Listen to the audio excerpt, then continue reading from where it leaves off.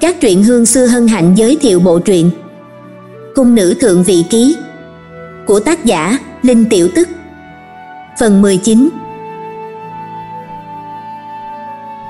Các bạn đang nghe truyện tại kênh Các truyện hương xưa Xin hãy bấm đăng ký, thích và chia sẻ để giúp chúng mình có thêm động lực nhé. Xin cảm ơn các bạn. Rõ ràng đối mặt với Triệu Húc đều có thể nói ra đáp án, nhưng đối diện với Ngụy Thư Tĩnh, nàng lại nghẹn họng. Ta là Thịnh Vân Trân, nữ nhi của Thịnh Văn Thư, quận thủ Lẫm Châu. Cuối cùng, nàng cũng không biết mình mang tâm trạng gì để nói ra lời này. Chương 606, giấu giếm Hộ Tống Thịnh Vân Trân Ngụy Thư Tĩnh nhìn nàng. Thịnh Vân Trân Vân Trân nhìn y, gật đầu. Nói xong câu này, Ngụy Thư Tĩnh vẫn chăm chú nhìn nàng. Vân Trân cố gắng kìm nén ấy nấy trong lòng, không ngừng tự nhủ, nàng là Thịnh Vân Trân, là người lần đầu bọn họ gặp, trước kia, chưa từng gặp qua. Nhưng dù thế, Vân Trân vẫn không thể vượt qua bản thân mình. Bởi vì trong lòng nàng, Ngụy Thư Tĩnh còn thân thiết hơn người thân, đồng thời đối với y, nàng mang đến ít cảm xúc không thể giải thích rõ ràng. Có điều may mà, Ngụy Thư Tĩnh chỉ nhìn một lúc, không bao lâu liền dời mắt đi. Vân Trân thở phào. Tiểu nữ cảm tạ ơn cứu giúp của Ngụy thống lãnh. Vân Trân kéo áo khoác, đứng dậy, hành lễ với Ngụy Thư Tĩnh. Thịnh tiểu thư không cần đa lễ, đây là việc Ngụy mổ nên làm. Ngụy Thư Tĩnh nhìn nàng, hỏi, nhưng mà, sao Thịnh tiểu thư lại rơi xuống hồ sen? Vì sao lại rơi xuống? Có lẽ do đứng bên bờ, không cẩn thận trượt chân, nên rơi xuống. Vân Trân trả lời. Vậy sao? Bản thân không cẩn thận rơi vào. Vậy vết thương trên cổ thịnh tiểu thư. Thoạt nhìn giống như bị rắn độc cắn. Rắn độc? Chắc là vậy. Tiểu nữ cũng không chú lắm, có điều, trong nước xuất hiện mấy con rắn hẳn không phải chuyện hiếm lạ. Thế sao? Hỏi xong, ngụy Thư Tĩnh không nói nữa. Thịnh tiểu thư không cần đa lễ, đây là ngụy người nào đó nên làm. Nếu ở nơi khác, trong nước xuất hiện một hai con rắn độc, vấn đề quả thật không lớn. Nhưng nơi này là hoàng cung, trong hoàng cung sao lại xuất hiện rắn độc? Hơn nữa thời điểm nàng hôn mê, cấp dưới vớt được xác một con rắn độc trong nước. Nhìn hoa văn và hình dạng đầu, căn bản không phải rắn độc bình thường, mà là rắn độc vô cùng hiếm thấy, thoạt nhìn chỉ sinh sống ở rừng núi ít dấu chân người. Thời điểm ngụy Thư Tĩnh còn ở núi Kình Thương, từng nhìn thấy loại rắn này. Đối lập, lời giải thích của vị thịnh tiểu thư trước mặt không có sức thuyết phục cỡ nào. Chẳng qua, ngụy Thư Tĩnh không định vạch trần. Bởi vì, dung mạo của nàng. Gương mặt này. Thời điểm y cứu nàng ra khỏi nước, mới nhìn rõ gương mặt này. Những người khác đều nói dung mạo của Thịnh Vân Trân tương tự với Trân Nhi bảy tám phần. Nhưng trong mắt Ngụy Thư Tĩnh, đây rõ ràng là dung mạo của Trân Nhi. Nếu Trân Nhi tới tuổi này, hẳn cũng sẽ trông như thế. Khụ khụ. Đúng lúc này, Vân Trân che miệng, ho vài tiếng. Để tại hạ hộ tống thịnh tiểu thư trở về. Ngụy Thư Tĩnh nói. Vân Trân nhìn nhìn, gật đầu, làm phiền Ngụy thống lãnh. Vân Trân được Ngụy Thư tỉnh hộ tống rời khỏi hồ sen. Bọn họ mới rời đi, đằng sau núi giả cách đó không xa, một người bước ra ngoài. Nếu Vân Trân ở đây, nhất định sẽ nhận ra người này, bởi vì đây chính là cung nữ dẫn đường cho Vân Trân tới Thính Hà Viện. Hiện tại, trên mặt cung nữ kia nào còn nét cung kính nội liễm. Trên mặt, tất cả đều là ảo não cùng không cam lòng sau khi thất bại. Thấy Vân Trân và Ngụy Thư tỉnh rời đi, cung nữ kia dậm chân, vội vàng xoay người bỏ đi. Nàng ta mới đi không bao lâu, một hộ vệ của cấm vệ doanh lắc mình xuất hiện, theo đuôi nàng ta. Bên này, Vân Trân và Ngụy Thư tỉnh đi không bao lâu, liền đụng người tới đây. Chương 607, hai gương mặt. Đi đằng trước là nhị công chúa Triệu Ngọc Nhung. Phía sau Triệu Ngọc Nhung là Thịnh Lan Hoàng và Liễu Hoáng Hoáng. Bọn họ dẫn theo cung nữ nội thị, giống như đang tìm gì đó. Có điều, khoảnh khắc nhìn thấy Vân Trân và Ngụy Thư Tĩnh, các nàng đột nhiên dừng lại. Muội muội. Thịnh Lan Hoàng gọi tới, vội đi về phía Vân Trân, nắm lấy hai tay nàng, lo lắng hỏi, muội muội, muội sao vậy? Không phải nói ra ngoài đi dạo một chút sao? Đây là... Tam tỷ không cần lo lắng, chỉ là bất cẩn rơi xuống hồ sen mà thôi. Vân Trân mỉm cười, lắc đầu. Nói xong, nàng quay đầu nhìn Ngụy Thư Tĩnh, may mà có ngụy thống lãnh. Là ngụy thống lãnh nhảy xuống hồ sen cứu muội lên.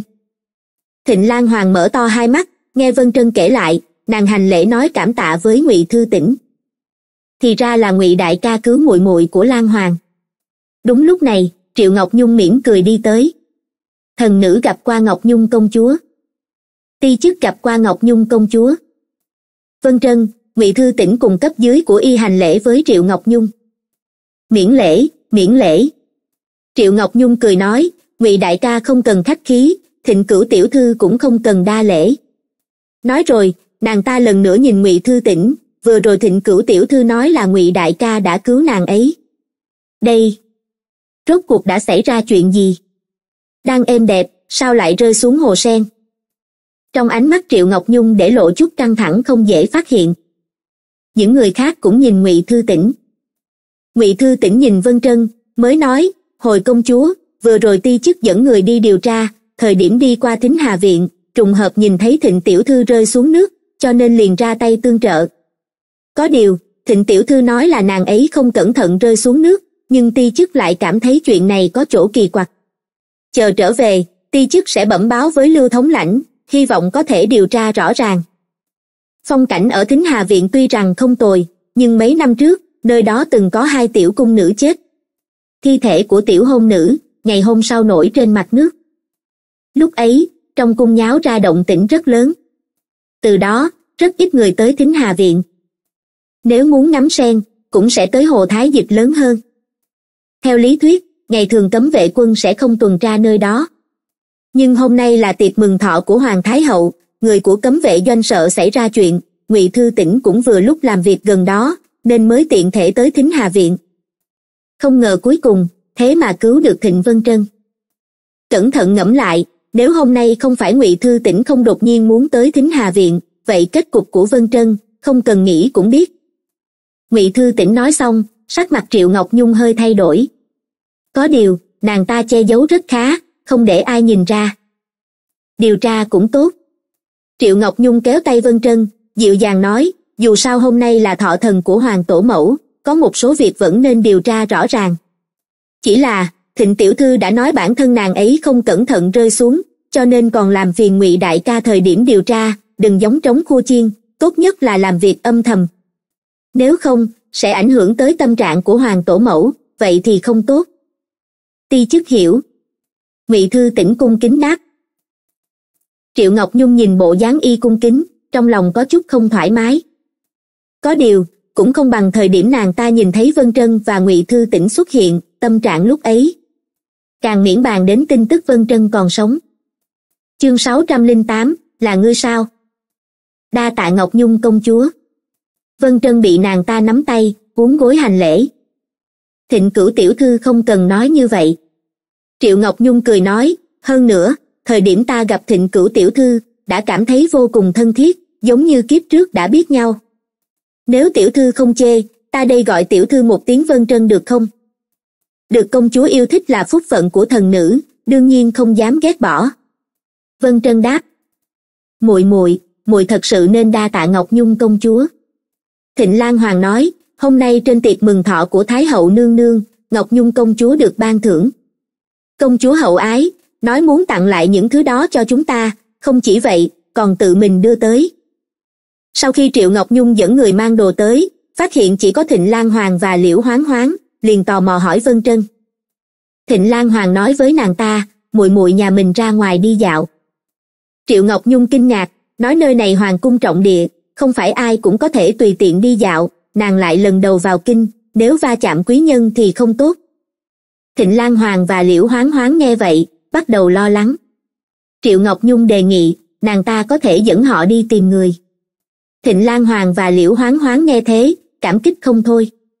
Vì vậy mới có một màn vân trân nhìn thấy. Thì ra công chúa lo lắng cho thần nữ như thế, thần nữ thật sự sợ hãi. Vân trân cúi đầu. Vân trân, muội không cần khách khí. Triệu ngọc nhung lần nữa kéo tay nàng, thân mật nói, buổi sáng ở ngoài an bình cung không phải ta đã nói muội trông rất giống một vị cố nhân của ta sao? Huynh nói xem đúng không, ngụy đại ca? Dứt lời, triệu ngọc nhung liền nhìn ngụy thư tỉnh sắc mặt vân trân cứng đờ, không dám quay đầu nhìn y. Có điều nàng vẫn có thể cảm nhận được, ánh mắt của ngụy thư tỉnh trước sau đều dừng trên người nàng. Thịnh tiểu thư là thịnh tiểu thư, nàng ấy là nàng ấy. Ngay thời điểm vân trân ngừng thở, giọng của ngụy thư tỉnh vang lên không biết vì sao, vân trân nghe y giải thích như vậy, lòng lại nhẹ nhõm đi không ít. Nhưng, hai người thật sự quá giống. Triệu ngọc nhung lại nói. Nói xong, trong lòng nàng ta không khỏi thở phào. Xiêm y trên người vân trân muội muội đã ướt, không bằng theo ta về ngọc nhung cung, ta thay muội tìm xiêm y thích hợp. Muội thấy sao? Vân trân nhìn áo choàng đen quen mắt khoác trên vai vân trân, cười hỏi. Vân trân ngẩng đầu nhìn nàng ta ánh mắt hai người giao nhau. Vân trân nheo mắt lại, cười cười, vậy thần nữ cảm tạ công chúa điện hạ trước. Vân trân theo triệu ngọc nhung rời đi. Thịnh lan hoàng và liễu hoáng hoáng kết bạn quay lại cung điện khi nãy. Mà ngụy thư tỉnh đứng tại chỗ, sau khi nhìn theo các nàng đều đi rồi, quay lại thính hà viện. Y đứng bên bờ hồ vừa cứu vân trân lên, nhìn hồ nước đầy lá sen, không biết đang nghĩ gì. Đại nhân không biết qua bao lâu, cấp dưới được phái đi theo dõi cung nữ kia đã quay lại. Sao rồi? Ngụy thư tỉnh hỏi. Quả nhiên không ngoài dự đoán của đại nhân, sau núi giả quả thật có người ẩn nấp, là một cung nữ. Cấp dưới bẩm báo, thuộc hạ theo dõi cung nữ kia rời khỏi thính hà viện tới ngự thư phòng. Tới ngự thư phòng rồi, bị người đó cắt đuôi, còn thỉnh đại nhân trách phạt. Công phu của ngươi không kém, lại bị cắt đuôi, chứng tỏ đối phương đã có cảnh giác việc này không trách ngươi được. Ngụy thư tỉnh lắc đầu, ngươi còn nhớ cung nữ kia trông thế nào không? Dạ nhớ. Tốt lắm. Đi bảo tiểu chiếu vẽ lại. Vâng. Là mùi sao?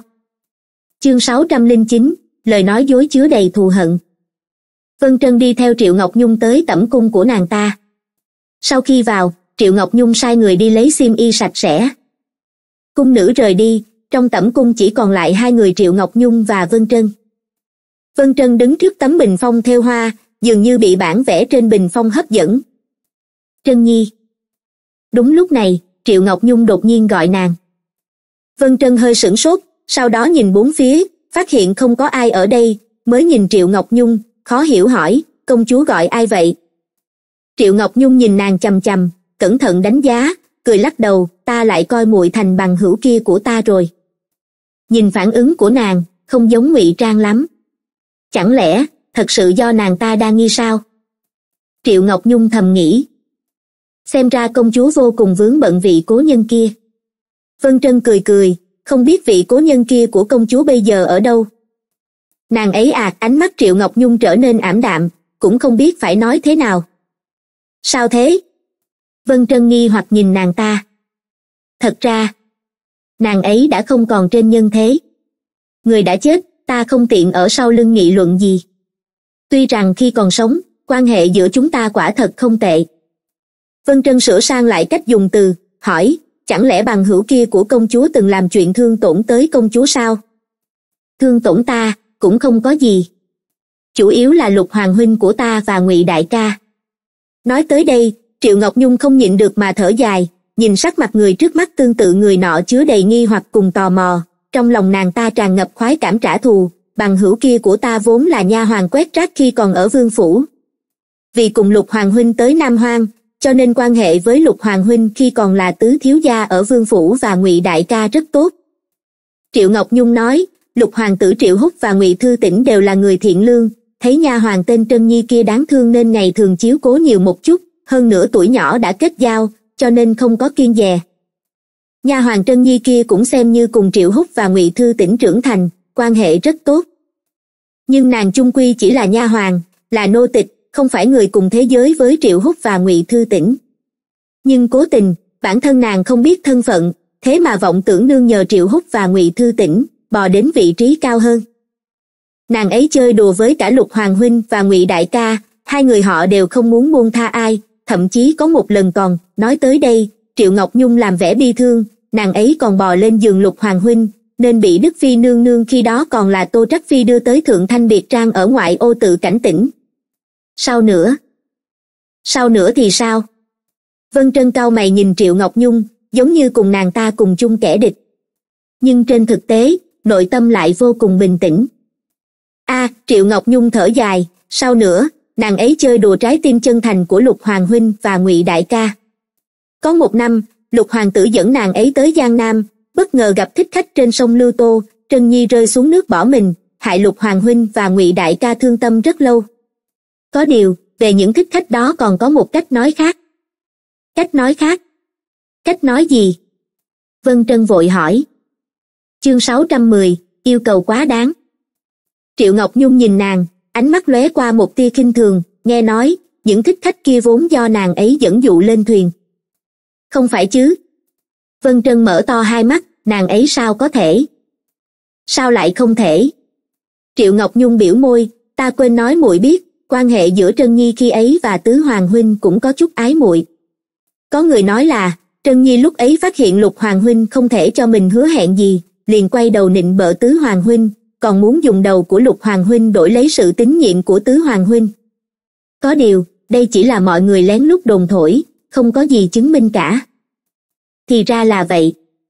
Vân trân gật đầu suy tư, sau đó lại khó hiểu hỏi triệu ngọc nhung, nếu trân nhi kia đáng giận như thế, vậy vì sao vừa rồi ở trước mặt ngụy thống lãnh, công chúa thoạt nhìn giống như rất hoài niệm nàng ấy? Vấn đề của vân trân khiến triệu ngọc nhung sửng sốt. Ngụy đại ca không biết những lời đồn đó ta cũng không muốn nhắc lại với huynh ấy, sợ huynh ấy thương tâm. Có điều, vân trân muội muội, ta muốn nhờ muội một việc. Công chúa cứ nói. Tuy rằng nữ nhân kia đã chết, nhưng dù sao cũng từng là người ngụy đại ca yêu sâu đậm. Mà muội tuy rằng vô tội, nhưng dù sao cũng quá giống người ấy. Cho nên ta muốn nhờ muội sau này, cố gắng đừng xuất hiện trước mặt ngụy đại ca. Nếu có thể, tốt nhất đừng gặp lại. Nếu không ta sợ ngụy đại ca, triệu ngọc nhung nhìn nàng. Nếu không, ta sẽ không nhịn được mà xuống tay với ngươi. Lúc ấy, ngươi sẽ không may mắn như hôm nay đâu. Vân trân ngẩng đầu nhìn nàng ta, đáp, được. Dứt lời, khóe miệng triệu ngọc nhung cong lên. Đúng lúc này, cung nữ cầm y phục sạch sẽ tới. Triệu ngọc nhung nhận lấy, đưa cho vân trân, đây là sim y thượng phục cục mới may năm nay, ta còn chưa mặc, tặng vân trân muội muội đấy đa tạ công chúa ban thưởng. Vân trân nhận lấy xiêm y, cảm tạ. Sau đó, nàng được cung nữ hầu hạ, thay y phục của triệu ngọc nhung. Qua một phen cảm tạ, nàng được cung nữ dẫn đường rời khỏi ngọc nhung cung. Triệu ngọc nhung nhìn theo vân trân, mãi đến khi hoàn toàn không thấy nàng nữa, mới hỏi cung nữ vừa hầu hạ nàng thay y phục, vừa rồi thời điểm ngươi giúp thịnh cửu tiểu thư thay y phục, có phát hiện trên người nàng ấy có chỗ nào kỳ quái không? Ví dụ như vết sẹo. Hồi công chúa, nô tỳ không thấy. Không có sao. Triệu ngọc nhung nghe vậy, gương mặt vốn ngưng trọng cuối cùng cũng giãn ra. Năm đó ở thanh lương sơn trang, nàng ta không cẩn thận gây ra hỏa hoạn, làm hại bản thân và trân nhi bị nhốt trong biển lửa. Sau khi được cứu, nửa gương mặt của nàng ta bị hủy hoại, mà sau bả vai của trân nhi cũng để lại hai vết sẹo. Hiện giờ, cung nữ lại nói không có chút nghi ngờ cuối cùng trong lòng nàng ta liền không còn. Xem ra thịnh cửu tiểu thư này thật sự không phải người kia. Công chúa. Lúc này, lại có cung nữ từ lén từ cửa hông tới. Nếu vân trân còn ở đây, nàng chắc chắn có thể nhận ra đây là cung nữ dẫn nàng tới thính hà viện. Bên này, vân trân rời khỏi ngọc nhung cung. Rời khỏi ngọc nhung cung không bao lâu, vân trân cho cung nữ dẫn đường trở về. Sau đó, một mình nàng đi tiếp vừa đi vừa nghĩ lại những gì triệu ngọc nhung vừa nói. Chương sáu trăm mười một, hắc đại nhân. Trong lòng ngoại trừ phiền muộn và kinh ngạc thì không có quá nhiều phản ứng khác. Nàng không ngờ sau khi nhận ân huệ, triệu ngọc nhung lại ở trước mặt một người khác hạ thấp nàng. Mà người đó còn trông tương tự nàng. Thời điểm nói những lời này, khẳng định triệu ngọc nhung rất hưng phấn. Bởi vì, cuối cùng cũng có thể biểu đạt toàn bộ oán hận trong lòng, không cần tiếp tục che giấu cũng không cần làm bộ trước mặt người ngoài, bởi vì nàng là người không biết gì, cho nên dù nàng ta nói thế nào, cũng không cần lo lời nói dối bị chọc thủng. Nhưng vì sao nàng ta lại làm như vậy? Vì ghen ghét sao? Vì nàng đã chết, trên đời này không còn ai biết thân phận thật sự của nàng ta. Hay vì còn thích ngụy đại ca? Vân trân không biết cụ thể là gì, có lẽ, đều có. Người như triệu ngọc nhung, nàng vốn không nên trao lòng tin khi nàng ta còn là tôn thúy nga, có lẽ còn một mặt hồn nhiên thiện lương, nhưng sau khi tôn thúy nga chết, dần dần biến thành triệu ngọc nhung, tâm tư nàng ta sớm đã không phải điều vân trân có thể phỏng đoán. Nàng ta trở nên phức tạp, càng khiến người ta nhìn không thấu. Nàng hôm nay ở thính hà viện, nàng bất cẩn rơi xuống nước. Không không phải là bất cẩn rơi xuống nước, mà có kẻ cố ý mưu hại. Từ lúc cung nữ dẫn đường cho nàng nàng đã bắt đầu sập bẫy đầu tiên cung nữ dẫn nàng tới bên hồ sen rất ít người qua lại, sau đó tìm cớ rời đi, cuối cùng nhân lúc nàng không phòng bị, đẩy nàng xuống nước. Nàng vẫn nhớ rất rõ khi ấy có bàn tay đẩy nàng xuống nước. Sợ nàng biết bơi, cho nên không làm thì thôi đã làm thì phải làm đến cùng, đối phương trực tiếp thả rắn độc vào hồ sen. Tuy rằng nàng chưa từng gặp loại rắn đó, nhưng nhìn phần đầu cùng màu sắc có thể đoán được, đó là rắn độc. Nếu không phải ngụy thư tỉnh vừa lúc đi qua chỉ sợ nàng hiện giờ chỉ còn là một thi thể. Ban đầu, nàng còn nghĩ là ai muốn hại nàng. Là kẻ chiều qua sai người bắt cóc nàng sao? Hay là kẻ khác? Nàng chưa từng hoài nghi triệu ngọc nhung. Nhưng sau đó, triệu ngọc nhung trùng hợp xuất hiện, rồi buổi nói chuyện trong ngọc nhung cung càng khiến nàng khẳng định, người đứng sau cung nữ kia chính là triệu ngọc nhung. Vân trân không muốn đi tìm chứng cứ. Bởi vì chắc chắn có một ngày nàng sẽ khiến triệu ngọc nhung nhận trừng phạt đáng phải có. Mà ngụy thư tỉnh. Nàng không muốn gặp lại y. Không phải vì triệu ngọc nhung cảnh cáo, mà nàng sợ bản thân lại gặp ngụy thư tỉnh, sẽ để lộ sơ hở. Ngụy thư tỉnh khác triệu húc, ở trước mặt triệu húc, nàng có thể phủ nhận, nhưng ở trước mặt ngụy thư tỉnh, phủ nhận càng khiến nàng ấy nấy. Xong tiệc mừng thọ của thái hậu, nàng phải tranh thủ tìm thời gian đi gặp lưu vân bạch một lần thời điểm nàng rời khỏi tây nam, lệ vô ngân chỉ còn lại nửa năm. Hiện giờ đã qua một tháng rưỡi, nàng bắt buộc phải tranh thủ thời gian, nhanh chóng tìm đủ dược liệu trong phương thuốc cổ truyền. Mèo. Vân trân vừa đi vừa tự hỏi. Thình lình, bên cạnh truyền tới tiếng mèo kêu. Vân trân sửng sốt, quay đầu nhìn thấy một con mèo đen béo ú, miệng ngậm một con chim sẻ từ trong bụi cả chui ra. Mèo đen tuy mập mạp nhưng lại có đôi mắt màu vàng vô cùng chói mắt. Khoảnh khắc đôi mắt ấy nhìn thấy vân trân, đột nhiên co rút lại. Sau đó, con mèo kia kêu lên một tiếng, mở rộng tứ chi nhào tới vân trân. Chương sáu trăm mười hai, ngươi có nghe nói tới thể chất được mèo thích chưa? Vân trân không né tránh, duỗi tay ôm lấy nó. Hắc đại nhân, ngươi nặng lên rồi đấy. Vân trân nhìn xung quanh, phát hiện không có ai, liền cúi đầu, vuốt tay hắc đại nhân, thấp giọng cười nói mèo. Hắc đại nhân giận dữ. Vui sướng đã lâu mới gặp còn chưa qua, nó trực tiếp duỗi hai móng vuốt cào tới. Vân trân sớm đã có phòng bị, cho nên linh hoạt né tránh. Mèo. Mèo.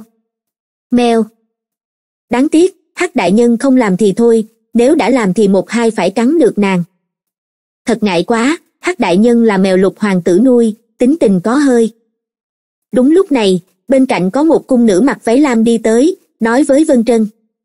Vân trân nghe tiếng, theo bản năng quay đầu, khoảnh khắc cung nữ kia trông thấy vân trân, hốc mắt liền đỏ. Ngươi ngươi. Cung nữ nhìn nàng, nước mắt trào ra. Vân trân thấy nàng ấy như vậy, thầm thở dài trong lòng. Sao? Ngay thời điểm nàng định lên tiếng, làm bộ lần đầu gặp mặt, cung nữ kia đã chạy tới, ôm chầm lấy nàng. Lời đã đến bên miệng vân trân phải nuốt vào. Trân nhi trân nhi là ngươi sao? Là ngươi đúng không? Ngươi về rồi sao? Ngươi trở về thăm quả nhi đúng không? Cung nữ ôm nàng, nức nở. Nước mắt từ dọc lăn xuống. Nha đầu ngốc. Vân trân nhấp môi, cười khổ. Đúng là nha đầu ngốc. Hiện giờ đã vào cung, sao còn ngốc như vậy? Trở về mấy ngày nay, mãi đến khi gặp hắc đại nhân, mãi đến khi gặp quả nhi nàng mới phát hiện nàng thật sự rời đi đã lâu lắm rồi. Chữ lâu này không phải để chỉ thời gian xa xăm, là nói những gì đã trải qua, là nội tâm trưởng thành. Đầu tiên nàng là quỷ đại phu của u minh giáo, hiện giờ là cửu tiểu thư của quận thủ phủ lẫm châu. Tâm tình nàng sớm đã thay đổi. Không chỉ nàng, còn có triệu húc, ngụy thư tĩnh, lưu vân bạch, triệu ngọc nhung. Chỉ có quả nhi và hắc đại nhân vẫn như trước. Không quả nhi đã cao hơn một chút mà hắc đại nhân có lẽ vì đồ ăn trong cung quá ngon nó cũng mập lên không ít giờ phút này nàng thật sự muốn ôm lấy quả nhi nói rằng đúng vậy ta là trân nhi Nhưng, không thể. Hiện tại vẫn chưa tới lúc. Vị cô nương này, có phải ngươi nhận lầm người rồi không? Vân Trân nhìn phía trước, thở dài. Nhận lầm người. Quả nhi nghe xong, đột nhiên buông nàng ra, kéo tay nàng, kích động nói, sao ta có thể nhận lầm? Ngươi rõ ràng là Trân Nhi.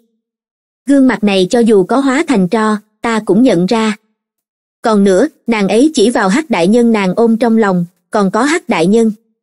Cho dù ta nhận lầm, hắc đại nhân tuyệt đối cũng không thể nhận lầm, nó chắc chắn không thể nhận lầm Trân Nhi.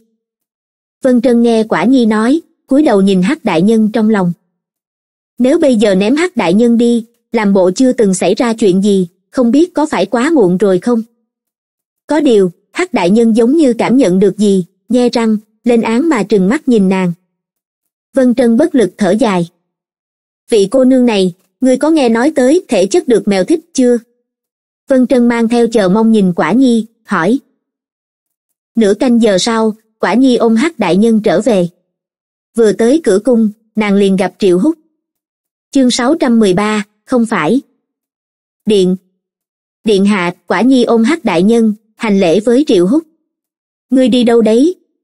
Triệu Húc hỏi. Nô tỳ đi tìm hắc đại nhân. Quả nhi trả lời. Triệu Húc gật đầu, duỗi tay nhận lấy hắc đại nhân từ quả nhi. Đã hơn một năm, hắc đại nhân được nuôi bằng thức ăn theo quy cách cao, trở nên mập mạp hơn trước, đồng thời theo tuổi lớn, tính cách cũng trở nên điềm đạm hơn. Nếu đổi thành lúc trước, hắc đại nhân chắc chắn sẽ không để con người ôm. Nhưng từ khi chủ nhân biến mất, một con mèo tha hương, lẻ loi hiu quạnh cũng học được cách cúi đầu trước đồ ăn và cuộc sống thoải mái. Có điều hôm nay, đột nhiên gặp lại chủ nhân lâu ngày xa cách, hắc đại nhân trở nên hưng phấn hẳn. Ban đầu nằm trong lòng quả nhi, nó rất không muốn. Hiện tại lại đổi thành người khác, tính tình bỗng trở nên khó gần, giơ móng vuốt tứ chi, muốn thoát khỏi lòng triệu hút. Có điều đến cuối cùng, nó cũng không được như ước nguyện. Triệu hút duỗi tay vuốt ve gáy nó vài cái, hắc đại nhân thoải mái toàn thân, liền không so đo với hắn nữa. Nhìn hắc đại nhân hơi khác thường nằm trong lòng mình, liền hỏi quả nhi, ngươi vừa tìm được nó ở đâu? Hồi điện hạ, gần Ngọc Nhung Cung. Quả nhi đáp. Ngọc Nhung Cung. Nghe đến ba chữ này, triệu hút nhíu mày. Nơi này không còn chuyện gì khác, ngươi lui xuống đi. Dứt lời, hắn muốn xoay người đưa hắc đại nhân đi. Điện hạ. Quả nhi bỗng gọi hắn. Triệu Húc đứng trên bậc thang, quay đầu nhìn nàng. Nô tỳ mới nhìn thấy. Nhìn thấy một người rất giống. Trân Nhi. Có điều, nàng ấy lại nói mình không phải, nàng ấy là cửu tiểu thư của quận thủ phủ Lẫm Châu, bị Triệu Hút nhìn chằm chằm, giọng quả nhi nhỏ dần.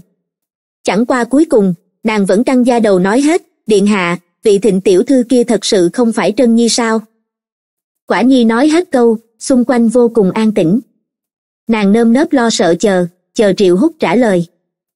Không biết qua bao lâu, giọng của Triệu Hút mới vang lên, không phải. Nói xong, hắn xoay người bỏ đi. Để lại quả nhi há to miệng, kinh ngạc nhìn theo bóng dáng hắn. Không phải. Câu trả lời của Điện Hạ quá quyết đoán. Chẳng lẽ, thật sự không phải Trân Nhi? Chẳng lẽ, thật sự chỉ là một người rất giống Trân Nhi sao? Nhưng vì sao hắc đại nhân? Người có thể nhận lầm, nhưng còn động vật. Động vật không thể cũng nhận lầm chứ. Chuyện Vân Trân rơi xuống hồ sen trong thính Hà Viện, tuy rằng người biết không nhiều lắm, nhưng vẫn truyền tới tai Lưu Vân Bạch. Chủ nhân, là bên phía hàm thục cung ra tay sao? Nha sát đứng sau Lưu Vân Bạch, hỏi. Lưu Vân Bạch vuốt cầm, nghĩ nghĩ, lắc đầu, chắc là không. Vị ở hàm thục cung kia xưa nay làm việc đơn giản thô bạo, ví dụ như trói người chiều qua, sẽ không có nhiều hành động dư thừa như vậy. Nếu không phải Thục Phi thì sẽ là ai? Có cần nha sát âm thầm đi bảo vệ nàng ấy không? Nha sát hỏi. Tạm thời không cần. Lưu Vân Bạch lắc đầu, với sự thông minh của nàng ấy, kế tiếp hẳn sẽ biết nên làm thế nào. Còn về hung thủ phía sau thính Hà Viện. Nghĩ đến đây, Lưu Vân Bạch đột nhiên nhếch mép cười. Không ngờ nàng tới Kinh Thành chưa tới nửa tháng đã khiến nhiều người chú ý như vậy. Chương 614, Tiệc tối, phần 1 Xem ra để nàng hồi kinh là quyết định chính xác. Nàng giống như viên trân châu rơi vào trong hồ, dẫn dụ tham lam, ghen ghét, ám toán. chỉ cần nàng ở đây không lo nước trong hồ không vẫn đục từ tiệp dư bên kia chuẩn bị đến đâu rồi lưu vân bạch lại hỏi hồi chủ tử đã chuẩn bị thỏa đáng vậy thì tốt. Lưu vân bạch cười cười. Đêm nay, phải xem ngươi rồi. Dù có thành công hay không, đêm này cũng là một buổi tối vô cùng xuất sắc. Bên này, vân trân trở về cung điện được sắp xếp. Vân trân muội muội muội về rồi. Nếu muội còn không về, lan hoàng tỷ tỷ sẽ lo lắng muốn chết. Vân trân vừa về, liền bị liễu hoáng hoáng bắt lấy, nghe nàng nhắc mãi bên tai. Tam tỷ, hoáng hoáng khiến hai người lo lắng. Vân trân cúi đầu, hành lễ. Muội đừng khách khí, trở về thì tốt. Nói rồi, thịnh lan hoàng giơ tay sờ băng vải trên cổ nàng, ánh mắt lộ sự ưu thương, phải làm sao đây? Vừa mới tiến cung đã. Tam tỷ đừng lo lắng, không sao. Chỉ là lúc rơi xuống nước, bất cẩn đụng phải đá. Vân trân nói. Thịnh lan hoàng nhìn nàng, dường như còn có chuyện muốn nói. Có điều ở trước mặt liễu hoáng hoáng, có vài lời không tiện nói ra. Được rồi, mọi người không cần lo lắng cho muội nữa.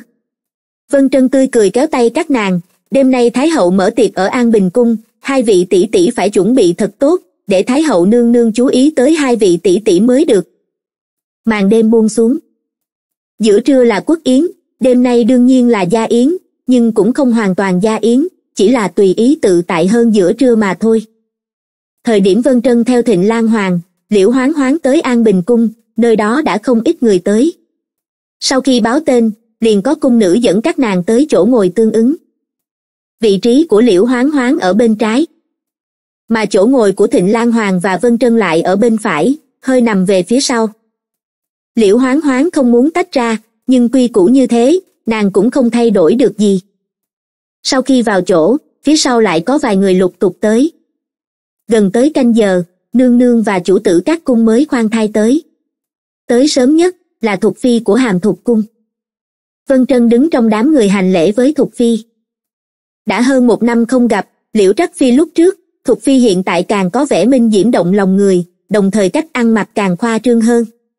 Nếu không phải thứ mặt trên người không phải phượng bào, người khác đều sẽ cho rằng người tới là đương kim hoàng hậu. Liễu trảng anh đi cùng thục phi. Sau khi tới thục phi ngồi vào vị trí thứ hai bên trái, liễu trảng anh cũng ngồi bên trái, có điều vị trí gần phía trước hơn liễu hoáng hoáng. Tính ra, đây xem như là vị trí gần chỗ ngồi cao nhất bên trái. Đức phi nương nương tới. Hiền phi nương nương tới. Đúng lúc này, ngoài cung nữ vang lên hai tiếng thông báo. Vân trân hơi cứng đờ, chậm rãi quay đầu, nhìn về cửa điện. Người đầu tiên đập vào mắt nàng là đức phi tô uyển khanh tô trắc phi sau khi trở thành đức phi càng thêm ung dung hoa khí. Nhưng cũng chỉ có vân trân biết, bà ta là người tàn nhẫn độc ác thế nào. Không chỉ nhẫn tâm với người khác, đối với bản thân, đối với nhi tử của mình cũng không hề nương tay. Sau khi đức phi vào, đó là hiền phi. Chương sáu trăm mười lăm, tiệc tối, phần hai. Khoảnh khắc gặp lại hiền phi, vân trân bỗng cảm thấy áy náy. Khi đó, là nàng thuyết phục hiền phi còn là lan trắc phi rời khỏi thanh phong quan trở về kinh thành, quay lại vũng bùn tranh đấu này. Nàng hứa với bà ấy, sẽ giúp bà ấy báo thù, trả lại công bằng cho hài nhi của bà ấy. Nhưng sau này, vì đủ nguyên nhân, nàng lại rời đi, không thể thực hiện lời hứa. Người như hiền phi, không biết sẽ sống thế nào trong hoàng cung này đây. Cuối cùng, đức phi ngồi ngay dưới thục phi. Mà hiền phi ngồi bên phải, vị trí thứ ba. Tam phi, thục phi, đức phi, hiền phi đều đã tới những chủ tử khác cũng lục tục đến đông đủ. Bệ hạ giá lâm. Thái hậu nương nương giá lâm. Hoàng hậu nương nương giá lâm. Ngay lúc này, bên ngoài vang lên ba tiếng thông báo liên tiếp. Hoàng đế khoác trên mình long bào cùng vương hoàng hậu mặc phượng bào và hoàng thái hậu một thân hoa phục đỏ thẫm tới. Khấu kiến bệ hạ. Tham kiến thái hậu nương nương. Tham kiến hoàng hậu nương nương. Người trong điện lập tức quỳ xuống, hành lễ thái hậu, hoàng đế, vương hoàng hậu theo thứ tự lần lượt ngồi xuống. Sau đó, triệu ngọc giao và triệu ngọc nhung cũng về vị trí. Đến đây, người tham gia yến hội đêm nay trên cơ bản đã tới đủ. Các vị hoàng tử không tới sao? Vân trân nhìn cung điện một vòng, hỏi thịnh lan hoàng. Thịnh lan hoàng lén quay đầu, chỉ chỉ tấm bình phong phía sau thuộc phi và vương hoàng hậu, ở đằng sau.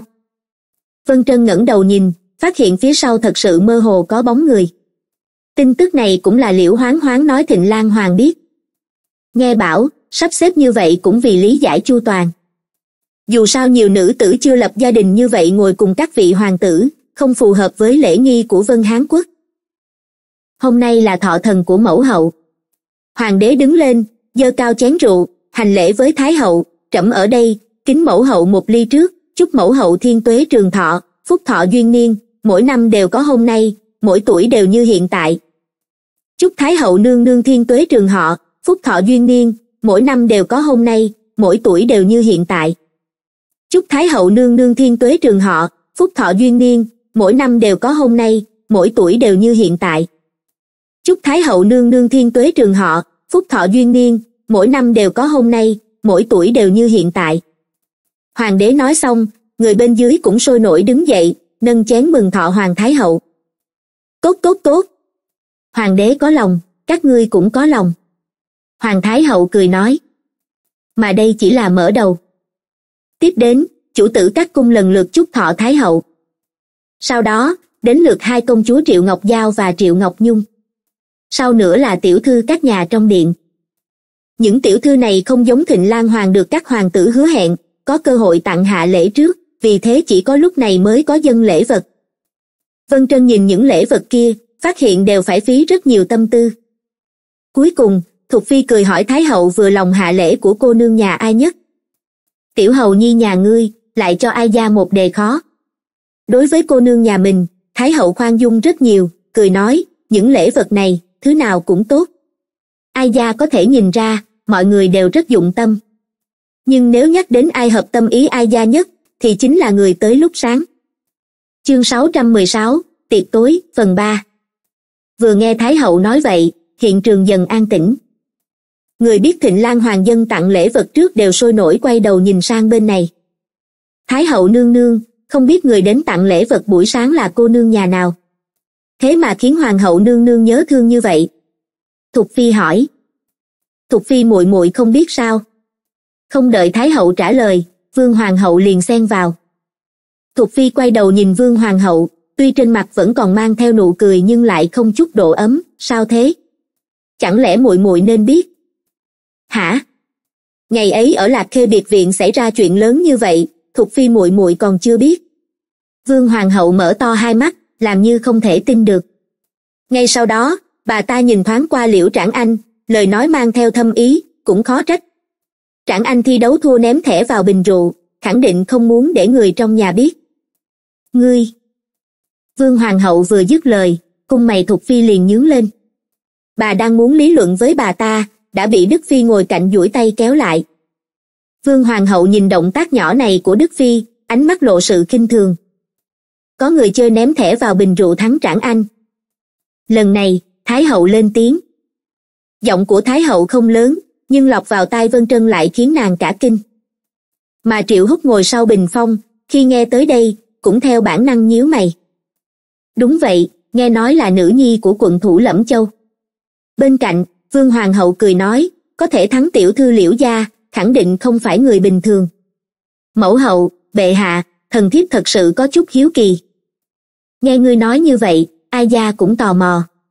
Thái hậu cười nói, ngày ấy là ai ở lạc khê biệt viện trong lúc thi đấu ném thẻ vào bình rượu thắng liễu tiểu thư? Đứng ra, để mọi người trông thấy đi vương hoàng hậu cao giọng. Thịnh lan hoàng nhìn vân trân. Vân trân nhấp môi, cúi đầu, nhanh chóng đi ra giữa đại điện, quỳ xuống, thần nữ thịnh vân trân gặp qua bệ hạ, gặp qua thái hậu nương nương, hoàng hậu nương nương cùng các vị nương nương. Miễn lễ miễn lễ. Thái hậu nói, ngươi chính là người đã thắng trảng anh ngày ấy. Hồi thái hậu, thần nữ bất tài, ngày ấy may mắn thắng liễu tiểu thư. Vân trân đáp. Thái hậu gật đầu ngươi, ngẩng đầu lên. Đúng lúc này, đức phi ngoại trừ lúc mừng thọ vẫn luôn an tĩnh đột nhiên mở miệng. Đúng vậy đúng vậy. Cũng để bổn cung và thái hậu, bệ hạ nhìn xem, ngươi rốt cuộc trông thế nào? Là người thế nào mà thắng được tiểu thư liễu gia? Vương hoàng hậu nói. Vân trân nhíu mày. Thời điểm nàng đồng ý hồi kinh, nàng đã biết, sẽ có một ngày như vậy. Sẽ có một ngày gặp lại mọi người, gặp lại cơn ác mộng đã qua tay đặt trước bụng siết chặt, vân trân hít sâu một hơi, chậm rãi ngẩng đầu. Khoảnh khắc đó, bên cạnh đột nhiên truyền tới tiếng đồ vật bị đánh nghiêng. Bầu rượu trước mặt hiền phi bị đánh đổ xuống đất, nhưng hiện tại, bà lại bất chấp sửa sang dung nhan, mà mở lớn hai mắt, không thể tin mà nhìn chằm chằm gương mặt này của vân trân. Sao lại là ngươi? Bỗng, triệu ngọc giao không màng lễ nghi, hét lớn. Chương sáu trăm mười bảy, các hoài tâm tư vừa nghe triệu ngọc giao nói, ánh mắt của mọi người trong đại điện đều hướng về vân trân. Những người không quen biết trân nhi thì còn may, chỉ nghi hoặc, cảm thấy cửu tiểu thư thịnh gia quả thật không bình thường. Lúc trước thi đấu ném thẻ vào bình rượu ở lạc khê biệt viện thắng liễu trảng anh, khiến mọi người phải lau mắt nhìn. Hiện giờ xem tình hình này, dường như có giao thoa với ngọc giao công chúa. Lan hoàng tỷ tỷ, cửu muội nhà tỷ rốt cuộc là ai vậy? Vì sao ngay cả ngọc giao công chúa cũng biết nàng ấy? Lúc này, tiểu thư ngồi cạnh thịnh lan hoàng chồng người qua, hạ giọng, tò mò hỏi thịnh lan hoàng. Thịnh lan hoàng ngồi ở bàn phía trước, tay giấu trong tay áo nắm chặt. Ta ta cũng không biết. Thịnh lan hoàng trả lời. Nói xong, ánh mắt nàng ấy nhìn vân trân càng trở nên phức tạp. Nàng, rốt cuộc là ai? Thật sự là nữ nhi thịnh gia sao? Mà người ngồi bên trên cũng vì sự lộ diện của vân trân mà sôi nổi lộ ra thái độ khác nhau. Như triệu ngọc giao, đó là trong khiếp sợ mang theo vài phần hoang mang cùng phẫn nộ. Mà triệu ngọc nhung ngồi bên cạnh triệu ngọc nhung, đôi mắt trở nên sắc lạnh. Xem ra, không cần nàng ta ra tay, sẽ có người đối phó thịnh cửu tiểu thư này. Trước kia khi ở ninh vương phủ, người kia có nhiều người giữ gìn, cho dù là triệu ngọc giao muốn ra tay với nàng cũng không thể vô duyên vô cớ nhưng hiện tại, triệu ngọc giao đã là công chúa tôn quý, mà quỳ trước mặt các nàng chẳng qua là nữ nhi con vợ lẽ của quận thủ phủ lẫm châu. Nếu bọn họ muốn làm gì nàng, thậm chí là lấy mạng, không cần quá nhiều lời, chỉ cần một lý do phạm tội bất kính cũng đủ.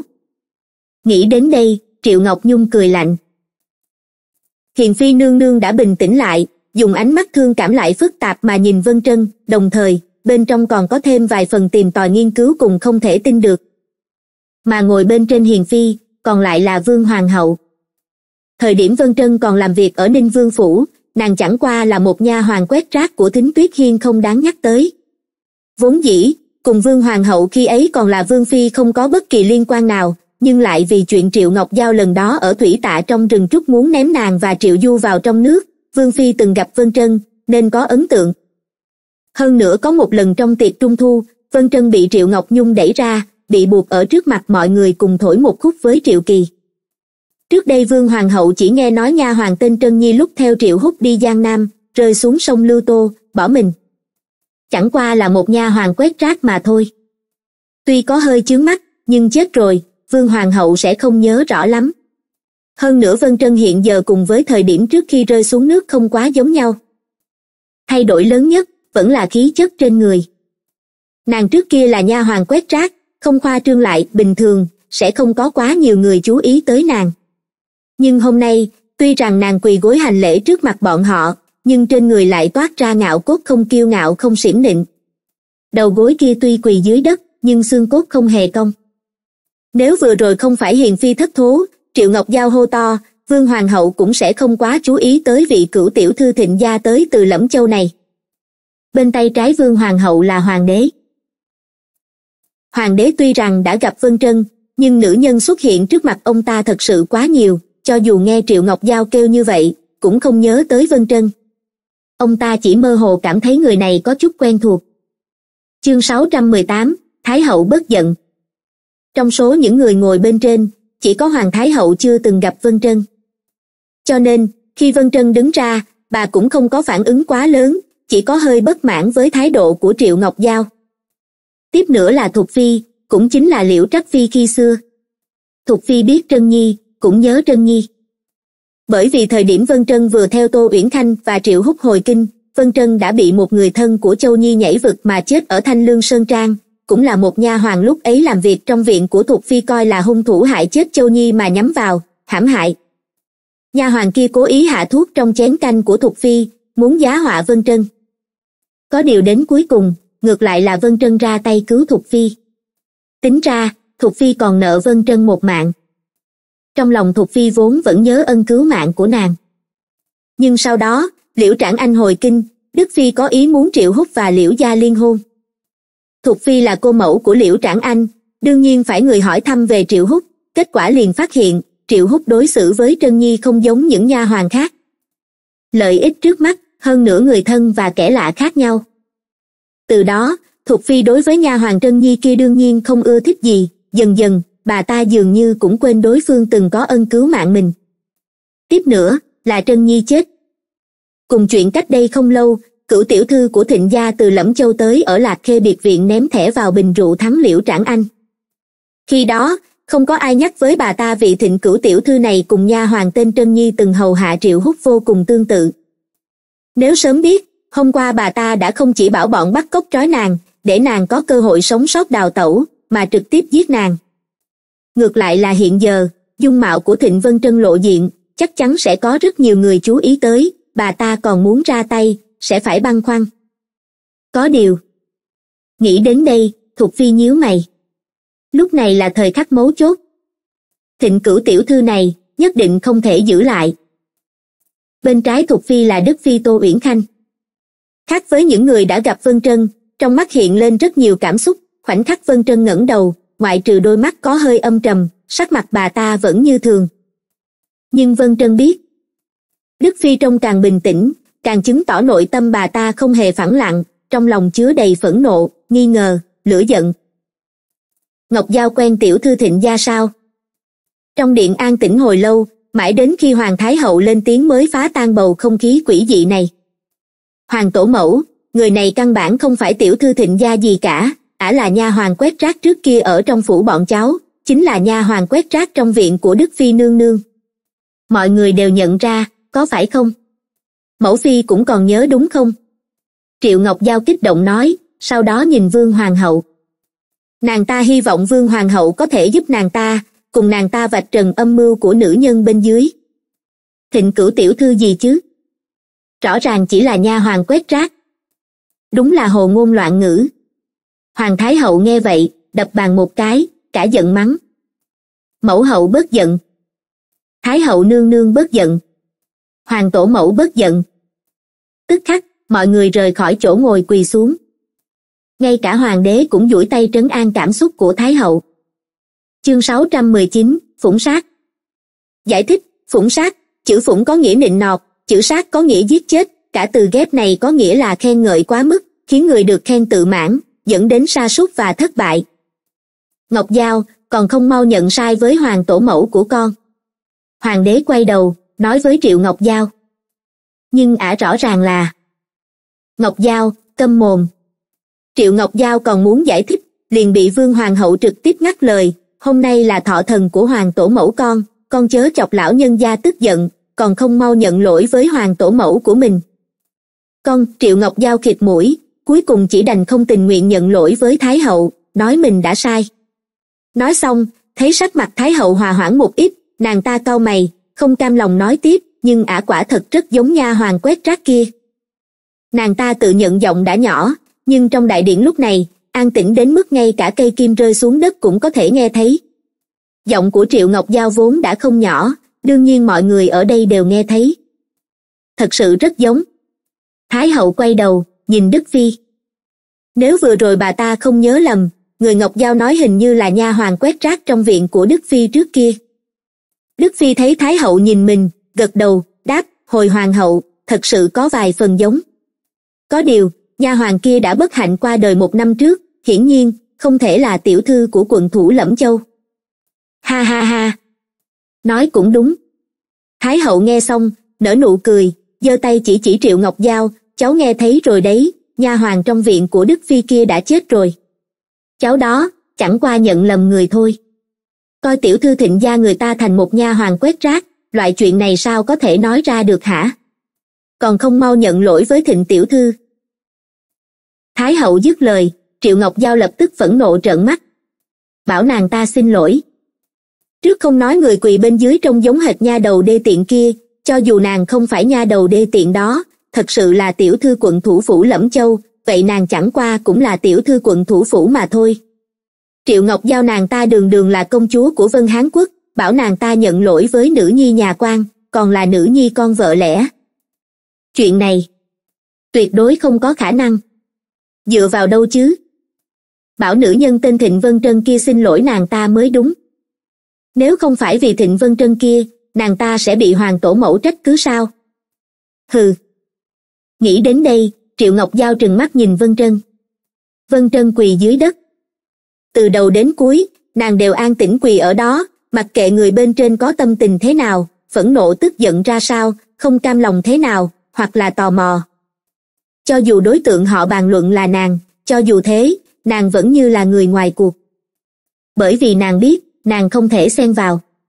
Ví dụ như thái hậu. Bà ta nhìn có vẻ hiền từ, nhìn có vẻ đang giúp nàng, giữ gìn nàng, nhưng sau khi nghe vương hoàng hậu kinh thường kể lại cuộc thi đấu ném thẻ vào bình rượu ở lạc khê biệt viện trước đó, liễu trảng anh bại bởi nàng. E rằng thái hậu cũng không thích nàng. Dù sao, nói thế nào, thái hậu họ liễu liễu trảng anh cũng họ liễu.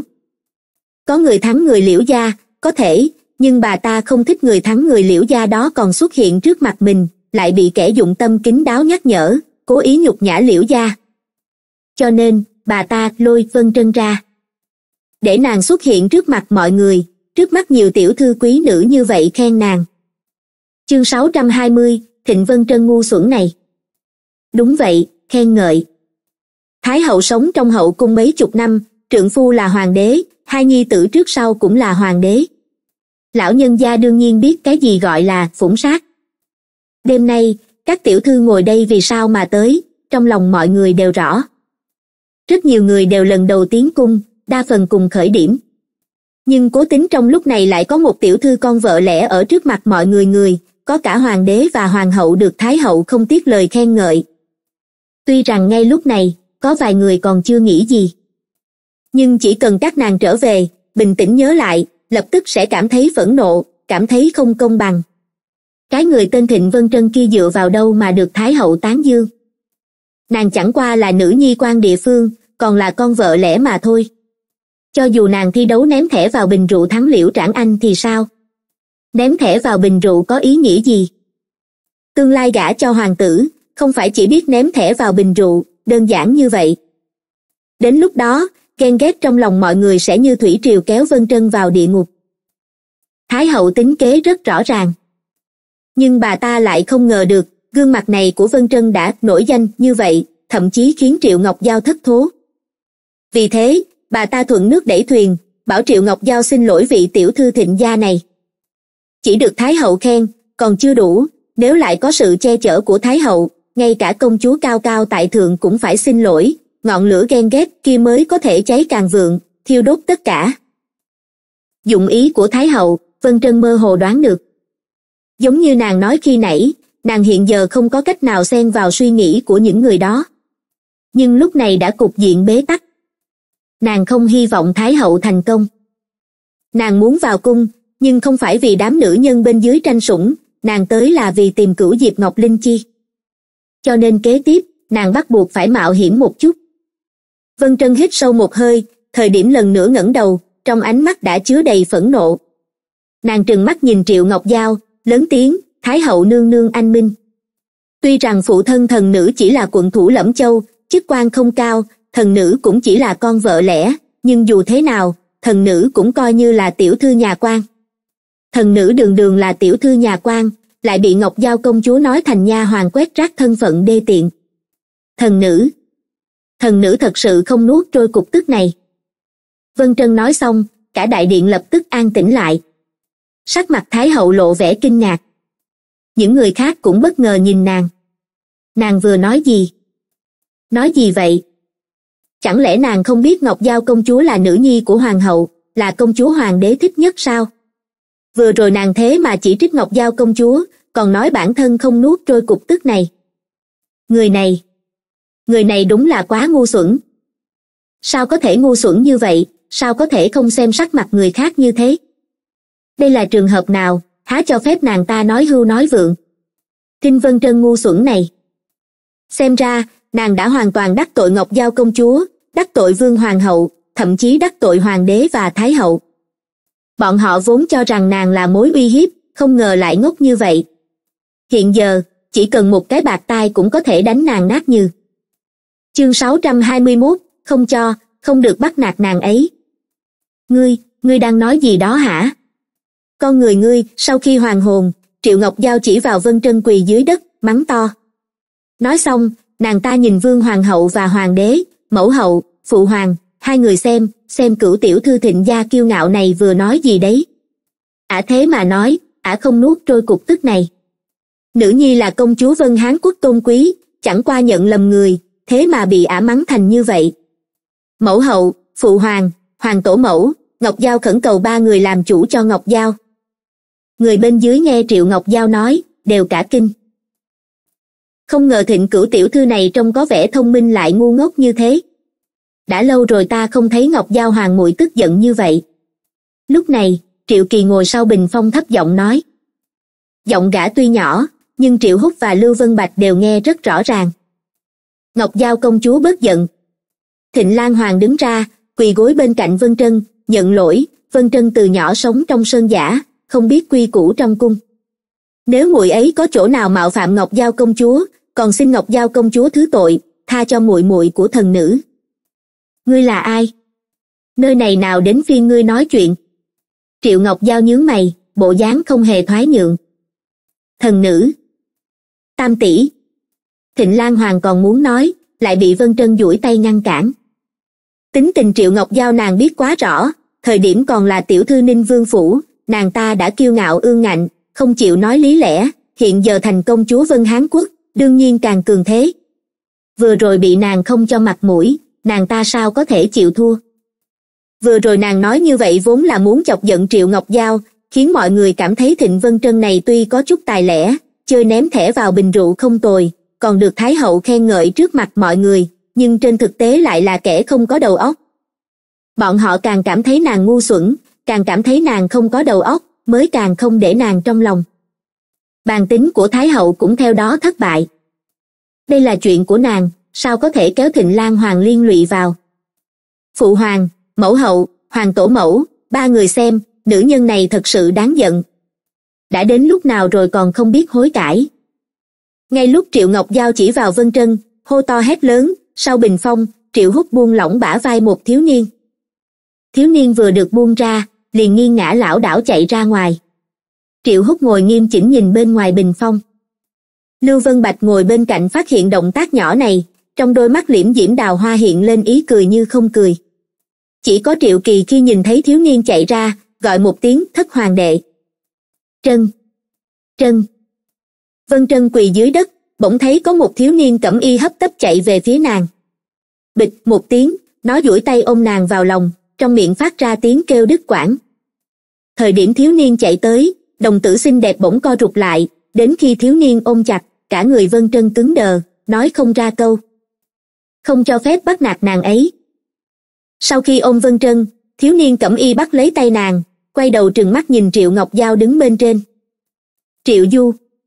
Đệ làm gì vậy hả? Triệu Ngọc Giao chỉ vào thiếu niên cẩm y, hét lớn. Không cho, không được phép thương tổn. Thương tổn nàng ấy, Triệu Du ngẩng đầu, duỗi tay bảo vệ Vân Trân. Chương 622, giữ gìn, cảm động. ầm. Đầu Vân Trân như muốn nổ tung. Cảnh tượng trước mắt tương tự một màn ở thủy tạ trong rừng trúc cỡ nào. Năm đó ở thủy tạ trong rừng trúc, người trước mặt này cũng giống hiện tại, che chở nàng, bảo vệ nàng, phản kháng Triệu Ngọc Giao, không để nàng bị Triệu Ngọc Giao khi dễ. Không màng tất cả như vậy, thấy việc nghĩa không trùng bước như vậy. Mọi người đều nói nó là kẻ ngốc, nhưng Vân Trân lại cảm thấy, so với bất cứ ai, nó càng sạch sẽ, càng chân thành. Triệu Du, ngươi. Cảnh tượng trước mắt trùng hợp một màn năm đó, Triệu Ngọc Giao tức giận đến không kiềm chế được, thiếu chút mất hết lý trí, tát Triệu Du một cái. Có điều, nàng ta vừa giật mình, đã bị Vương Hoàng hậu kéo lại. Du Nhi, con làm gì thế hả? Thấm chiêu nghi đâu? Còn những cung nhân đi theo con đâu? Đều đi đâu hết rồi? Vương Hoàng hậu nhìn chầm chầm Triệu Du, chất vấn. Bà ta vừa dứt lời, liền có một cung nữ tuổi cô cô hoang mang chạy tới, quỳ xuống, nơm nớp lo sợ bẩm báo, nói thấm chiêu nghi không khỏe, nên không tới đây. Hôm nay rốt cuộc sao vậy? từ tiệp dư không khỏe không tới thấm chiêu nghi cũng không khỏe. Chẳng lẽ bọn họ hẹn nhau trước sao? Thục phi kinh thường nói. Cung nữ chiếu cố triệu du nghe vậy, thân thể càng run rẩy. Vương hoàng hậu thiếu kiên nhẫn mà vất tay, còn không mau đưa thất hoàng tử đi. Mẫu thân của triệu du, thấm chiêu nghi thân phận không cao, triệu du lúc nhỏ sau khi rơi xuống nước liền trở thành kẻ ngốc, hiện giờ tuy đã ra bộ dáng thiếu niên, nhưng trí lực nhiều nhất chỉ bằng hài đồng hai ba tuổi, rất nhiều lúc ngay cả lời nói cũng không biểu đạt rõ ràng. Trong cung này không ai không biết, mẫu tử thấm chiêu nghi chưa từng được hoàng thượng sủng ái, ngay cả mai chiêu dung chỉ sinh được một công chúa, đãi ngộ trong cung còn tốt hơn thấm chiêu nghi. Nếu không phải mấy năm nay hậu cung của hoàng đế vẫn không có tin tốt, con nối giỏi đơn bạc, đãi ngộ dành cho mẫu tử thấm chiêu nghi chỉ sợ còn kém hơn hiện tại. Chính vì thế, từ tiệp dư mới dám ở ngự hoa viên bắt nạt triệu du triệu ngọc giao mới dám ở trước mặt mọi người gọi thẳng tên triệu du, trống rau mắng lớn. Cung nữ nghe vương hoàng hậu nói, muốn tới gần kéo triệu du, lại bị triệu du né tránh. Việc này, cung nữ khó xử ngẩng đầu, nhìn bên trên. Không cho, không được phép. Bắt nạt. Không cho, triệu du giang rộng hai tay bảo vệ trước mặt vân trân, cảm xúc kích động như con sói nhỏ bảo vệ đồ ăn của mình, không cho phép bất kỳ ai bước vào lãnh địa của nó một bước vân trân nhìn triệu du che chở mình, vừa kích động, lại vừa khó chịu. Cảm động với sự chân thành này, cũng khó chịu với sự giữ gìn của nó. Người ở đây không ngờ triệu du lại chấp nhất với thịnh cửu tiểu thư này, thậm chí không tiếc cải lệnh vương hoàng hậu. Du nhi, ngươi. Tỷ tỷ đừng tức giận. Ngay lúc vương hoàng hậu giận không thể ác, thục phi mở miệng, ngắt lời bà ta. Vân trân nghe thấy, ngẩng đầu nhìn thục phi, thấy bà ta nhếch mép cười ngồi ở ghế trên xa hoa nhìn nàng và triệu du, bệ hạ, thái hậu nương nương, thần thiếp đột nhiên nhớ ra, du nhi năm nay hình như cũng sắp mười bốn rồi. Vừa nói ra lời này, đại điện liền an tĩnh lại. Chương sáu trăm hai mươi ba, ngươi nguyện ý gả cho du nhi không? Mọi người không hẹn mà cùng nhìn vân trân và triệu du, ban đầu còn kinh ngạc, theo sau, trong mắt từng người đều lộ vẻ nghiền ngẫm hiểu rõ. Sau bình phong, triệu hút theo bản năng nhíu mày mà ý cười trong mắt lưu vân bạch đã lạnh đi vài phần. Chỉ có triệu kỳ là người đứng ngoài cuộc, ngược lại thoải mái nói, thục phi nương nương có ý gì vậy? Chẳng lẽ bà ta muốn nghị thân cho thất hoàng đệ sao? Triệu kỳ vừa dứt lời, giọng của vương hoàng hậu ở bên ngoài vang lên. Đúng vậy, năm nay du nhi vừa tròn mười bốn. Trong chuyện này, vương hoàng hậu khó có dịp không đối nghịch với thục phi. Nói tới đây, bà ta nhìn vân trân, hòa ái hỏi, tiểu thư thịnh gia năm nay ngươi bao nhiêu tuổi rồi? Vân trân đè nén phẫn nộ trong lòng, cúi đầu, bình tĩnh đáp, hồi hoàng hậu nương nương, năm nay thần nữ mười bảy. Mười bảy? Lớn hơn du nhi ba tuổi. Dân gian có câu này không sai, nữ đại tam, bảo kim chuyên. Bệ hạ, mẫu hậu cùng chư vị muội muội, mọi người cảm thấy thế nào? Những người ở đây, ngoại trừ triệu du, có ai nghe không hiểu vương hoàng hậu đang nói gì?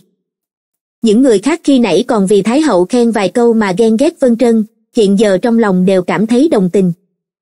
Ý của vương hoàng hậu và thục phi là muốn ban thịnh cửu tiểu thư này cho thất hoàng tử triệu du. Thất hoàng tử triệu du là tên ngốc, việc này có ai không biết. Tuy rằng có vinh hoa phú quý, nhưng vị trí chí tôn kia khẳng định vô duyên với nó. Nói thẳng ra, nếu vân trân thật sự được ban cho triệu du, vậy cả đời này của nàng coi như xong rồi không chỉ bị nhốt trong thâm cung này, hàng đêm ở bên kẻ ngốc, còn không thể hưởng thụ chút việc tình ái giữa nam nữ. Đổi thành câu thông tục hơn chính là, sống như quả phụ. Nha đầu thịnh gia quả thật không tồi. Thái hậu gật đầu, vừa lòng nói, muốn dung mạo, có dung mạo, gia thế cũng xứng với du nhi của chúng ta. Có điều, có phải ủy khuất nàng không? Câu ủy khuất nàng đương nhiên chỉ chuyện triệu du là tên ngốc. Hoàng tổ mẫu nói gì thế? Thịnh cửu tiểu thư sao có thể cảm thấy ủy khuất? Triệu ngọc giao xen vào, du nhi của chúng ta là nhi tử của phụ hoàng, là hoàng tử, là con của rồng. Phụ thân của thịnh cửu tiểu thư chẳng qua là quận thủ lẫm châu mà thôi. Nếu đem ra so sánh, trong hôn sự này, du nhi của chúng ta mới là người ủy khuất. Triệu ngọc giao trái một câu du nhi, phải một câu du nhi, nghe thật thân thiết, giống như thật sự vì suy nghĩ cho triệu du. Ngọc giao nói không sai thịnh gia có thể leo tới hôn sự với hoàng gia, đối với bọn họ mà nói là chuyện đại hỷ. Thịnh tiểu thư, ngươi có bằng lòng gả cho du nhi của chúng ta không? Dứt lời, vương hoàng hậu nhìn vân trân. Mọi người cũng không hẹn mà cùng nhìn nàng, đủ loại ánh mắt như núi đá đè trên người vân trân, khiến nàng không thở nổi. Nàng chậm rãi nhìn sắc mặt từng người. Triệu ngọc nhung lo lắng nhìn nàng, nhưng sâu trong đôi mắt là lạnh lẽo không hòa tan được triệu ngọc giao không giống triệu ngọc nhung căn bản không hề che giấu sự căm hận giờ phút này trên mặt nàng ta còn thể hiện sự vui sướng không khống chế được. Vương hoàng hậu cười lạnh hoàng đế ép buộc thái hậu hờ hững thục phi vui sướng khi người gặp họa đức phi âm trầm. Dường như mọi người đều đang chờ vân trân nhảy vào cái hố trước mắt. Chương 624, không phải lương xứng. Dù nàng trả lời nguyện ý hay không nàng đều đã bị ép vào đường cùng không còn lựa chọn nào khác. Hôn sự của thất hoàng tử là chuyện lớn, dù thế nào cũng nên thương lượng với thấm chiêu nghi, mẫu phi của thất hoàng tử đúng không? Còn cả thịnh gia ở lẫm châu nữa, cũng nên phái người thông báo một tiếng. Nha đầu thịnh gia này chẳng qua là một nữ hoa, chuyện cưới gã lớn như vậy, dù thế nào cũng phải để phụ mẫu nàng ấy ra mặt, bản thân nàng ấy làm sao làm chủ được. Đúng lúc này, bên cạnh truyền tới một giọng nói nhu hòa. Vân trân quay đầu thấy hiền phi đứng lên, nói với mọi người. Vương hoàng hậu nhíu mày, sao thế? Bệ hạ tứ hôn cũng không được à? Hoàng hậu nói thế nào thì chính là thế đó. Hiền phi nhàn nhạt trả lời, nhưng tứ hôn vốn là chuyện vui, là bệ hạ chúc phúc cho đôi tân nhân, hy vọng đôi tân nhân có thể hạnh phúc, bạch đầu giai lão. Nhưng nếu đã không phải lương duyên, chẳng phải sẽ hủy hoại hai người, còn cô phụ ý tốt của bệ hạ sao? Ngươi thần thiếp nói như vậy cũng là vì bệ hạ. Hiền phi làm lơ ánh mắt âm trầm của vương hoàng hậu, tiếp tục dùng giọng nhu hòa nói. Hoàng đế, con thấy sao?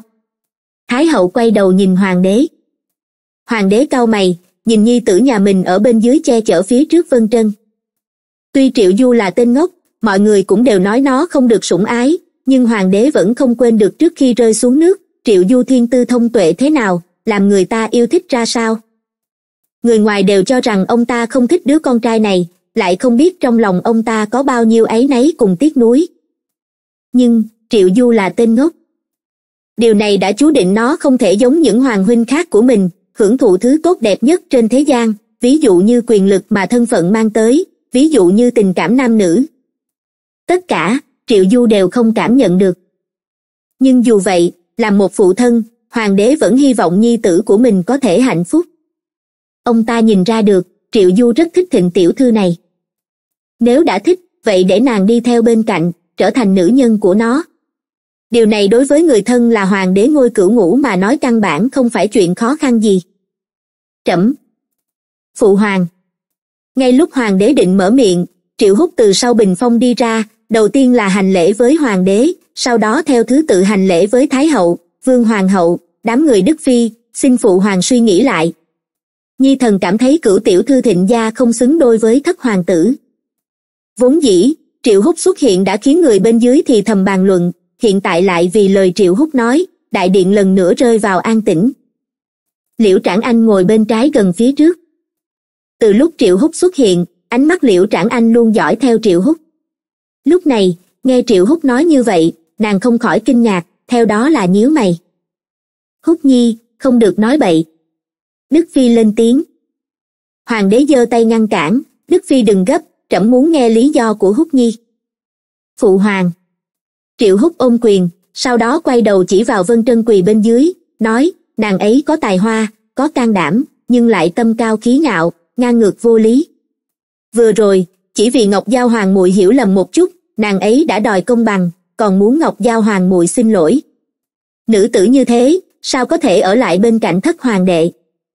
Chương 625, sau cơn mưa trời vẫn chưa sáng. Nói tới đây triệu hút dừng lại. Vân trân ngẩng đầu nhìn thẳng vào hắn nghe hắn nói tiếp thất hoàng tử là người đơn giản dễ dàng tin người khác.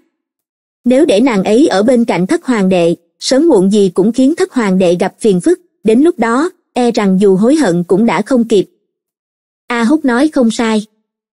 Bên này triệu hút vừa dứt lời bên kia lưu vân bạch liền từ sau bình phong đi ra lưu vân bạch đã ra ngoài triệu kỳ đương nhiên cũng đi theo lưu vân bạch hành lễ với những người trước mặt rồi tiếp tục thịnh cửu tiểu thư có tính cách như vậy quả thật không hợp ở lại bên cạnh hầu hạ thất hoàng đệ. Nếu miễn cưỡng ở lại, Nhi thần sợ đến lúc đó không phải thịnh cửu tiểu thư hầu hạ thất hoàng đệ, ngược lại là thất hoàng đệ bị thịnh cửu tiểu thư tâm cao khí ngạo này sai khiến. Lưu Vân Bạch vừa dứt lời, hoàng đế liền bật cười ha ha. Bầu không khí ở hiện trường theo tiếng cười của hoàng đế thả lỏng một ít, mọi người cũng cười theo. Con đó, cũng thích xem náo nhiệt à. Hoàng đế chỉ vào Lưu Vân Bạch, cười mắng. Kết quả, Điều Vân Trân phải đối mặt vốn dĩ là đường cùng, lại vì Triệu Húc xuất hiện, Lưu Vân Bạch ngắt lời làm bầu không khí trong đại điện bớt căng thẳng, đồng thời, thanh kiếm treo trên đỉnh đầu Vân Trân cuối cùng cũng được lấy xuống. Theo đó, Hoàng đế ban tọa, Triệu Húc, Lưu Vân Bạch và Triệu Kỳ vào chỗ ngồi bên ngoài, kế tiếp, bọn họ cùng nhau chúc thọ Thái Hậu. Còn về Triệu Du, nó được cung nữ chiếu cố mình đưa về nơi ở của thấm chiêu nghi. Trước khi đi, Triệu Du vô cùng luyến tiếc Vân Trân. Nhưng nó phản ứng chậm hơn những người khác, Vân Trân không thể chỉ dùng một hai câu để giải thích rõ ràng, nói mình không phải Trân Nhi, hoặc là, nàng hiện tại không thể làm làm Trân Nhi, nàng chỉ là Thịnh Vân Trân mà thôi. Nhìn Triệu Du không tình nguyện bị cung nữ dẫn đi, Vân Trân càng thêm áy náy. Sau khi tránh được một kiếp, Vân Trân và Thịnh Lan Hoàng trở về chỗ ngồi. Để trấn an tỉ muội các nàng, Thái hậu ban thưởng cho mỗi người một ít. Trong lòng Vân Trân dù có suy nghĩ khác, cũng chỉ có thể tạ ơn tiếp nhận. Qua ba vòng rượu, Thái hậu rời đi trước. Sau đó, hoàng đế cũng cùng các nương nương rời đi. Ngoài miệng nói là còn có việc, trên thực tế lại muốn tạo cơ hội cho những người trẻ, sợ có các bậc trưởng bối ở đây, bọn họ không thoải mái. Quả nhiên, hoàng đế và các nương nương hậu cung đi rồi, liền có người to gan nâng chén rượu lên, bắt chuyện với hoàng tử mình ái mộ. Có người chủ động tiến lên, có người ngồi yên không nhúc nhích. Ví dụ như, Vân Trân. Ví dụ như, Thịnh Lan Hoàng. Thịnh Lan Hoàng là vì giờ phút này người vây quanh Lưu Vân Bạch thật sự quá nhiều, nàng da mặt mỏng, lại màng lễ nghi, đương nhiên không dám tiến lên. Hơn nữa, nàng cảm thấy tứ hoàng tử không phải người viễn vông, cho dù trong số các vị hoàng tử, nhân duyên của tứ hoàng tử tốt nhất. Còn về Vân Trân, nàng vẫn vì chuyện vừa rồi mà cảm thấy luẩn quẩn. Nàng ngồi trong đám người, nhìn Triệu Húc được tiểu thư các nhà vây quanh. Tuy rằng mọi người đều biết Đức Phi muốn liên hôn với Liễu Gia, nhưng cũng không cản được một số người ái mộ lục hoàng tử Triệu Húc. Cho dù không được làm chính Phi, vậy vẫn còn trách Phi, thiếp thất. Vân Trân nhìn Triệu hút, Có lẽ chuyện vừa rồi thay đổi bất ngờ, mỗi một chi tiết đều rất mạo hiểm. Bề ngoài có lẽ không nhìn ra, nhưng chỉ cần nói sai một câu, đi sai một bước, nàng sẽ rơi vào vực sâu vạn trượng, thịt nát xương tan. Nàng chỉ là không hiểu, vì sao vừa rồi Triệu hút lại giúp nàng. Chương 626, rượu có vấn đề. Nếu nói Triệu hút nhận ra nàng, vậy hắn tuyệt đối không thể đưa y phục của Liễu Trảng Anh cho nàng mặc. Nếu nói Triệu Húc không nhận ra nàng, vậy vì sao vừa rồi hắn phải giúp nàng? Còn có sự xuất hiện của Triệu Du.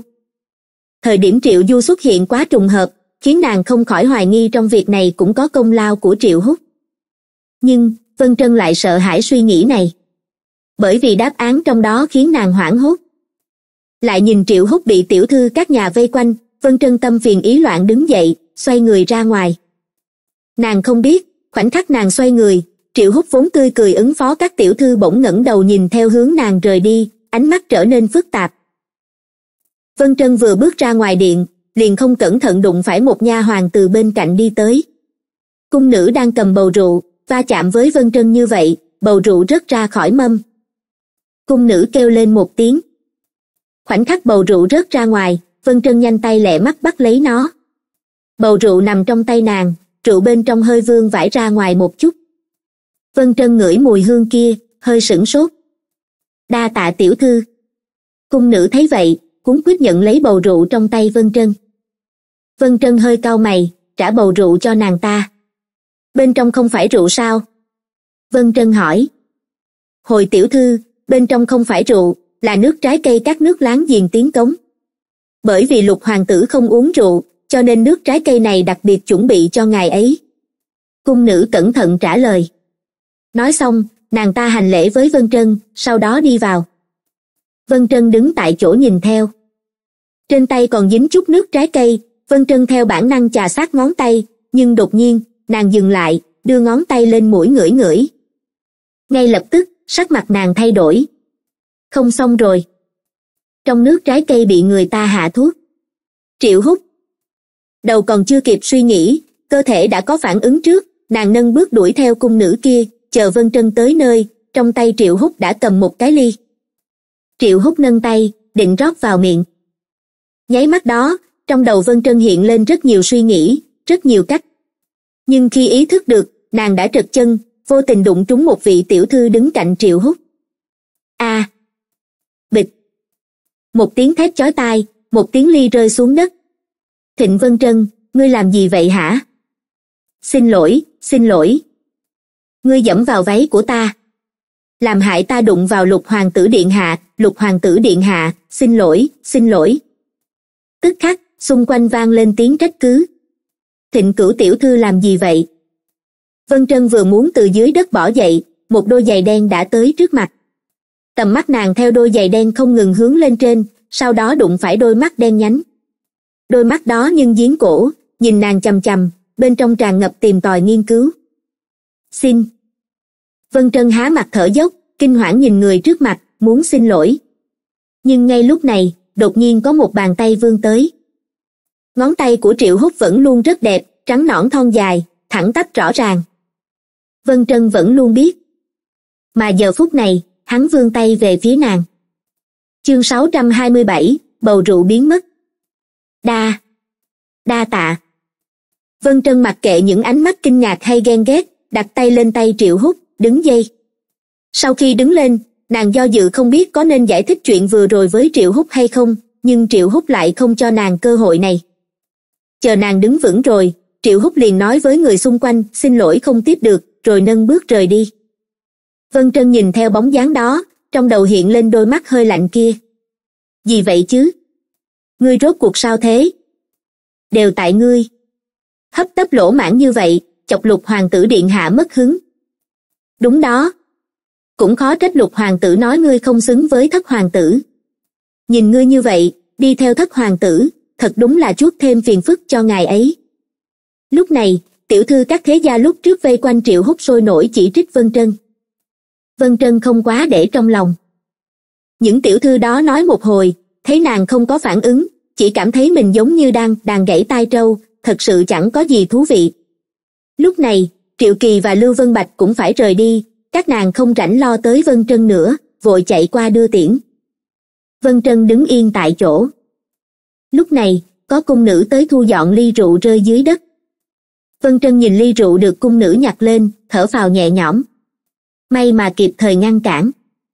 Lúc nãy nàng ở cửa điện va chạm cung nữ nước trái cây kia nước trái cây dính một ít lên tay nàng. Ban đầu nàng chỉ cảm thấy có chỗ nào không đúng, mãi đến khi nàng đưa tay lên ngửi, mới phát hiện bên trong bị người ta hạ thuốc thôi tình. Thuốc thôi tình. Có người muốn đối phó triệu hút nàng bắt buộc phải ngăn cản. Tuy rằng đến cuối cùng, triệu hút vẫn uống một ít, nhưng liều lượng không lớn, chắc là không sao. Chờ đã.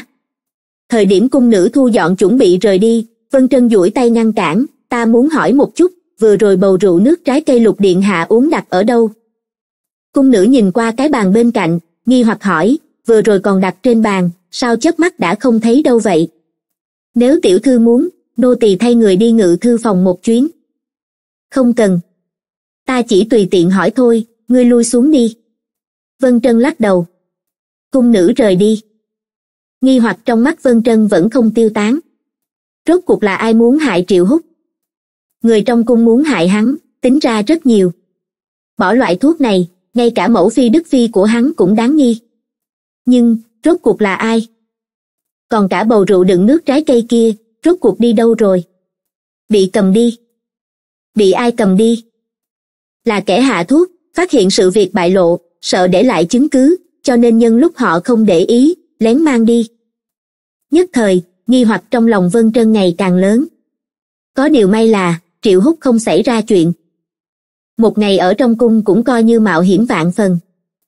Đầu tiên là vất vả lắm mới tới kịp tiệc mừng thọ của thái hậu, không thất lễ, theo đó, ở cửa an bình cung gặp triệu ngọc nhung, kế tiếp là bị người ta đẩy vào hồ sen ở thính hà viện, suýt chết, đồng thời gặp lại ngụy thư tĩnh, sau đó, chính là triệu ngọc nhung mời tới ngọc nhung cung của nàng ta, nghe nàng ta kể chuyện của trân nhi, giúp nàng nhìn rõ triệu ngọc nhung là người thế nào, sau khi ra ngoài bởi vì gặp hắc đại nhân cho nên thiếu chút bại lộ trước mặt quả nhi. Chương 628, thịnh lan hoàng trúng chiêu. Cuối cùng chính là giờ phút này tối hôm nay trong yến hội mừng thọ thái hậu. Thái hậu nghe vương hoàng hậu khiêu khích gọi nàng bước ra ở trước mặt mọi người khen nàng khiến nàng gây thù chuốc quán tứ phía. Sau đó là triệu ngọc giao phẫn nộ chỉ trích thái hậu giữ gìn. Nàng bất đắc dĩ thay đổi tác phong hành sự của mình tạo dựng hình tượng cuồng vọng, không đầu óc. Tiếp nữa là sự xuất hiện đột ngột của triệu du, vương hoàng hậu và thuộc phi thuận thế muốn ban hôn, muốn hoàn toàn phế đi nàng. Nhưng ngay lúc này, hiền phi lên tiếng chen ngang vương hoàng hậu, vương hoàng hậu lại dọn hoàng đế ra.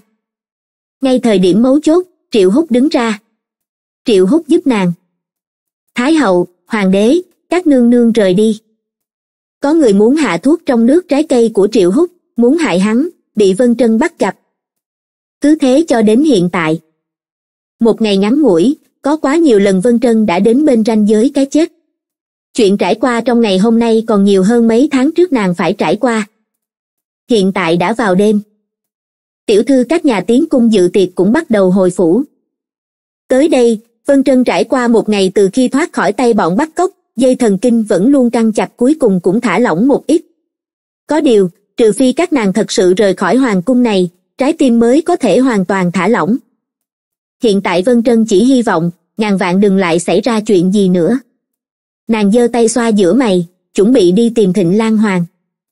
Nhưng nàng nhìn khắp đại điện vẫn không thấy thịnh lan hoàng đâu, cuối cùng chỉ tìm được liễu hoáng hoáng. Muội hỏi lan hoàng tỷ tỷ sao? Liễu hoáng hoáng nói, khi nãy lan hoàng tỷ tỷ uống chút rượu, nói hơi đau đầu, muốn ra ngoài hóng gió chắc sắp trở về rồi. Nếu muội sốt ruột, có thể ra ngoài tìm xem. Được rồi, đa tạ. Vân trân hành lễ, đang định ra ngoài tìm thịnh lan hoàng, nhưng khi ánh mắt nàng đảo qua phía sau liễu hoáng hoáng, đột nhiên dừng lại. Bởi vì ở đó đặt một bầu rượu bầu rượu mà nàng vừa tìm nhưng không thấy đâu. Nàng vội đi tới, cầm lấy bầu rượu, mở nắp ra, đưa lên mũi ngửi ngửi. Muội muốn uống sao? Đây là nước trái cây khi nãy ta thấy không có ai động vào nên cầm tới liễu hoáng hoáng nói. Ai đã uống nước trái cây trong này? Vân trân lập tức cắt ngang. Sao vậy? Muội hỏi ai từng uống sao? Liễu hoáng hoáng bị bộ dáng này của nàng dọa sợ vội nói là lan hoàng tỷ tỷ. Tỷ ấy nói tỷ ấy không biết uống rượu vừa lúc ta thấy có rượu trái cây nên mang tới tỷ ấy uống một chút. A à, muội đi đâu vậy? Không đợi liễu hoáng hoáng nói xong, vân trân đã xoay người chạy ra ngoài. Thịnh lan hoàng.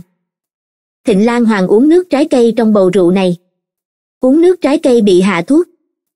Sao lại trùng hợp như vậy? Hiện tại, vân trân không có cách nào tiếp tục nghĩ về những trùng hợp đó cùng kẻ đứng sau, lúc này nàng chỉ muốn nhanh chóng tìm được thịnh lan hoàng. Trong nước trái cây có trộn thuốc thôi tình. Nơi này là hoàng cung trọng địa, nếu thịnh lan hoàng phát tác nàng ấy chắc chắn sẽ mất mạng. Cho dù nàng không có quá nhiều tình cảm với thịnh lan hoàng nhưng dù sao đó cũng là tỷ tỷ của thân phận này. Chỉ có thịnh lan hoàng ở đây nàng mới có lý do ở lại kinh thành tiến cung tìm kiếm cửu diệp ngọc linh chi. Chương 629, điện hạ cứu mạng. Cho nên hiện tại nàng bắt buộc phải mau chóng tìm được thịnh lan hoàng. Chỉ mong chưa xảy ra chuyện gì. Bên cạnh thịnh lan hoàng còn nha hoàng ô châu ô châu sẽ trông chừng nàng ấy. Ô ô châu. Vân trân vốn đang chạy vội, đột nhiên dừng lại, kinh ngạc nhìn ô châu từ đối diện đi tới, sao ngươi lại ở đây? Tam tỷ đâu? Cửu tiểu thư, không thấy tiểu thư đâu cả. Ô châu kéo tay nàng, vành mắt đỏ lên. Sao lại không thấy? Vân trân trở tay bắt lấy nàng, hỏi. Đều đều tại nô tỳ không tốt, ô châu nức nở sau khi thịnh lan hoàng uống nước trái cây có hạ thuốc liền cảm thấy thân thể không thoải mái, nên bảo ô châu cùng mình ra ngoài hóng gió. Kết quả không ngờ ra ngoài gặp gió, thịnh lan hoàng càng cảm thấy thông minh. Thịnh lan hoàng dù thông minh, nhưng nàng chỉ là nữ nhi của quận thủ lẫm châu, là tiểu thư nhà quan, những thứ xuân dược đó, nàng khinh thường chạm vào, căn bản cũng không hề biết. Cho nên, khi ấy cho dù thịnh lan hoàng biết mình không ổn nhưng cũng không nghĩ tới phương diện đó chỉ cảm thấy thân thể nóng lên, miệng khô khốc, nên bảo ô châu trở về rót cho nàng ly nước. Ô châu nghe lệnh rời đi. Chờ nàng tìm được cung nữ xin nước, quay về, lại phát hiện không thấy thịnh lan hoàng đâu. Nàng tìm khắp nơi, đều không thấy bóng dáng của thịnh lan hoàng, lúc này mới nóng nảy chạy về tìm viện binh. Vân trân nghe ô châu kể, không khỏi căng thẳng. Xem ra dược hiệu phát tác rồi. Nàng ấy đi như vậy cho dù là tự đi hay bị ai mang đi tình hình đều không tốt. Các nàng bắt buộc phải lập tức tìm được thịnh lan hoàng nếu không hậu quả không dám tưởng tượng. Vân trân không ngờ bản thân thay triệu húc cản bầu rượu kia cứu triệu húc, cuối cùng lại hại thịnh lan hoàng. Cửu tiểu thư chúng ta nên làm gì đây? Có cần thông báo với thị vệ nhờ hỗ trợ không? Ô châu cuốn quyết hỏi. Không được. Vân trân lập tức cự tuyệt trạng thái của thịnh lan hoàng bây giờ càng ít người biết càng tốt. Nếu không, một khi truyền ra ngoài, đối với người coi trọng danh tiếp như thịnh lan hoàng sẽ là đả kích rất lớn. Cả đời này của nàng ấy cũng sẽ bị hủy hoại. Ngươi dẫn ta tới chỗ không tìm thấy tam tỷ đâu trước đi. Vân trân vội nói. Một bên khác, sau khi rời khỏi an bình cung, triệu hút về cung điện của mình. Trên đường, hắn mang theo tâm sự nặng nề vẫn luôn suy nghĩ tới chuyện vừa xảy ra trên đại điện. Cuối cùng là hình ảnh thịnh vân trân đâm vào một tiểu thư nhà quan cạnh hắn. Trùng hợp sao? Hay còn dụng ý khác? Nghĩ tới đây, triệu hút nhíu mày. Bỗng, phía trước truyền tới tiếng kêu. Điện hạ, phía trước hình như đã xảy ra chuyện. Nội thị bên cạnh nói. Triệu hút ngẩng đầu nhìn qua. Chỉ thấy có một cung nữ kinh hoảng chạy qua bên này. Vừa nhìn thấy triệu hút trước mắt nàng ta sáng ngời, không chút do dự mà chạy về phía hắn, lục hoàng tử điện hạ, chủ tử nhà nô tỳ đột nhiên ngất xỉu. Cầu xin ngài qua xem một chút. Bằng không, sợ là sợ là sẽ xảy ra chuyện. Lục hoàng tử điện hạ, cầu xin ngài. Cung nữ kia nói xong, lại dập đầu mấy cái, vẻ mặt cầu xin. Điện hạ, chi bằng chúng ta qua xem đi. Nội thị thử hỏi. Triệu hút trầm mặt vài giây nhấc chân đi về phía trước. Chương sáu trăm ba mươi, vận mệnh. Một bên khác, vân trân đi theo ô châu tới nơi thịnh lan hoàng mất tích. Cửu tiểu thư tiểu thư nhà nô tỳ mất tích ở đây. Ô châu chỉ vào đình hóng gió phía trước. Vân trân và ô châu tìm xung quanh đình hóng gió một vòng, đều không nhìn thấy thịnh lan hoàng. Lúc này, vân trân mới ý thức được, có lẽ thịnh lan hoàng thật sự đã xảy ra chuyện. Cửu tiểu thư, bây giờ chúng ta phải làm sao đây? Ô châu đi theo thịnh lan hoàng, xưa nay đều có chủ ý, ngày thường cũng hay khinh thường vị cửu tiểu thư vân trân đột nhiên xuất hiện này, nhưng hiện tại, đến lúc này, ô châu cũng ý thức được rằng thịnh lan hoàng đã xảy ra chuyện, trong lòng sốt ruột không thôi, cũng vì đã tới đường cùng mời gửi gắm mọi điều lên người vân trân. Vân trân nhíu mày, cúi đầu suy tư. Hiện giờ thịnh lan hoàng trúng thuốc thôi tình, khẳng định không thể để nhiều người biết. Nhưng tình huống lúc này là các nàng không thể xin sự giúp đỡ của người ngoài, hỗ trợ tìm thịnh lan hoàng. Cho nên, các nàng bắt buộc phải tìm được người có quyền hạn nhất định trong hoàng cung, giúp các nàng tìm người, đồng thời phải biết giữ miệng, không để lộ chuyện của thịnh lan hoàng ra, hơn nữa thời điểm tìm kiếm không khiến người ta chú ý. Có thể phù hợp với những điều kiện này, vân trân chỉ nghĩ đến một người. Ngụy thư tỉnh ngụy thư tỉnh là phó thống lãnh cấm vệ doanh, tuần tra bảo vệ an toàn trong cung là chức trách của y, mà y là người chính trực, nhất định sẽ không nói ra chuyện xảy ra với thịnh lan hoàng. Đúng là nhắc tào tháo tào tháo tới. Ngay khi vân trân định đi tìm ngụy thư tỉnh ngụy thư tỉnh vừa lúc dẫn theo hộ vệ tuần tra gần đây. Ngụy thống lãnh, xin dừng bước. Thời điểm đi ngang hoa viên, ngụy thư tỉnh nghe trong đình hóng gió bên cạnh có người gọi mình. Y nghiêng đầu nhìn thấy vân trân mặc y phục màu vàng đứng cách đó không xa. Nhìn gương mặt vừa quen thuộc lại xa lạ này, sắc mặt ngụy thư tỉnh cứng đờ. Sau đó, y làm thủ thế với hộ vệ phía sau, rồi nâng bước đi vào đình hóng gió. Ngụy thống lãnh. Vân trân nhìn ngụy thư tỉnh đi đến, hành lễ. Thịnh cửu tiểu thư có chuyện gì sao? Ngụy thư tỉnh hỏi. Ngụy thống lãnh, tiểu nữ tử có việc muốn nhờ, mong ngài ra tay tương trợ vân trân ngẩng đầu nhìn y. Một lát sau, ngụy thư tỉnh từ chỗ vân trân biết được chuyện thịnh lan hoàng mất tích. Có điều, vân trân không kể chuyện thịnh lan hoàng bị người ta hạ thuốc, chỉ nói cửu lượng của thịnh lan hoàng không tốt, có hơi say, hiện tại mất tích, các nàng lo nàng ấy xảy ra chuyện, muốn nhờ y hỗ trợ tìm người. Dù sao nơi này là hoàng cung, say rượu thất thốt là điều vi phạm lễ nghĩa. Vân trân thỉnh cầu ngụy thư tỉnh hỗ trợ che giấu một chút ngụy thư tỉnh nghe xong, liền hỏi ô châu tình hình thịnh lan hoàng trước khi nàng ấy rời đi, sau đó, y dẫn theo cấp dưới tìm kiếm xung quanh. Vân trân và ô châu không yên lòng, muốn đi theo họ. Uống phải thuốc thôi tình trong nước trái cây, cơ thể thịnh lan hoàng nóng như lửa đốt. Nàng lão đảo đi về phía trước. Nàng không biết hiện tại mình ở đâu, trên đường cũng không có ai, nàng chỉ biết cả người rất nóng nóng đến mức như có ngọn lửa thiêu đốt tất cả lý trí của nàng trong hoảng hốt nàng hình như nhìn thấy ánh sáng. Có ánh sáng có nghĩa là có người có người có nghĩa là có nước có thể khống chế khác thường trong cơ thể. Nàng mơ màng đi về phía trước. Nước khát khó chịu. Bệ hạ phía trước hình như có người. Đúng lúc này có một giọng nói the thé vang lên. Chương 631, kết quả không muốn nghĩ tới nhất. Vân trân và ngụy thư tỉnh tìm rất nhiều nơi đều không thấy bóng dáng thịnh lan hoàng. Cuối cùng, bọn họ không thể không mở rộng phạm vi tìm kiếm. Mãi đến khi tới một góc ở hoa viên, ô châu kêu lên một tiếng, ở bụi hoa bên cạnh tìm được giày của thịnh lan hoàng. Tiểu thư. Đây là giày của tiểu thư nhà nô tỳ. Ô châu cầm lấy chiếc giày, kích động nói, tiểu thư nhà nô tỳ chắc chắn đã tới đây, nàng ấy chắc chắn đã vào tòa viện phía trước. Nô tỳ. Nói rồi, ô châu liền muốn xông vào trong nhưng ngay lúc này, nàng ấy lại bị ngụy thư tỉnh duỗi tay ngăn cản. Ngụy thống lãnh, ngài làm gì thế hả? Ngài đừng ngăn cản ta ta muốn vào trong tìm tiểu thư nhà ta. Ô châu kích động. Vân trân cũng nhìn ngụy thư tỉnh nơi đó là tẩm cung của bệ hạ, không được triệu kiến, ai cũng không được vào. Ngụy thư tỉnh nói. Cái gì? Tẩm cung của hoàng đế.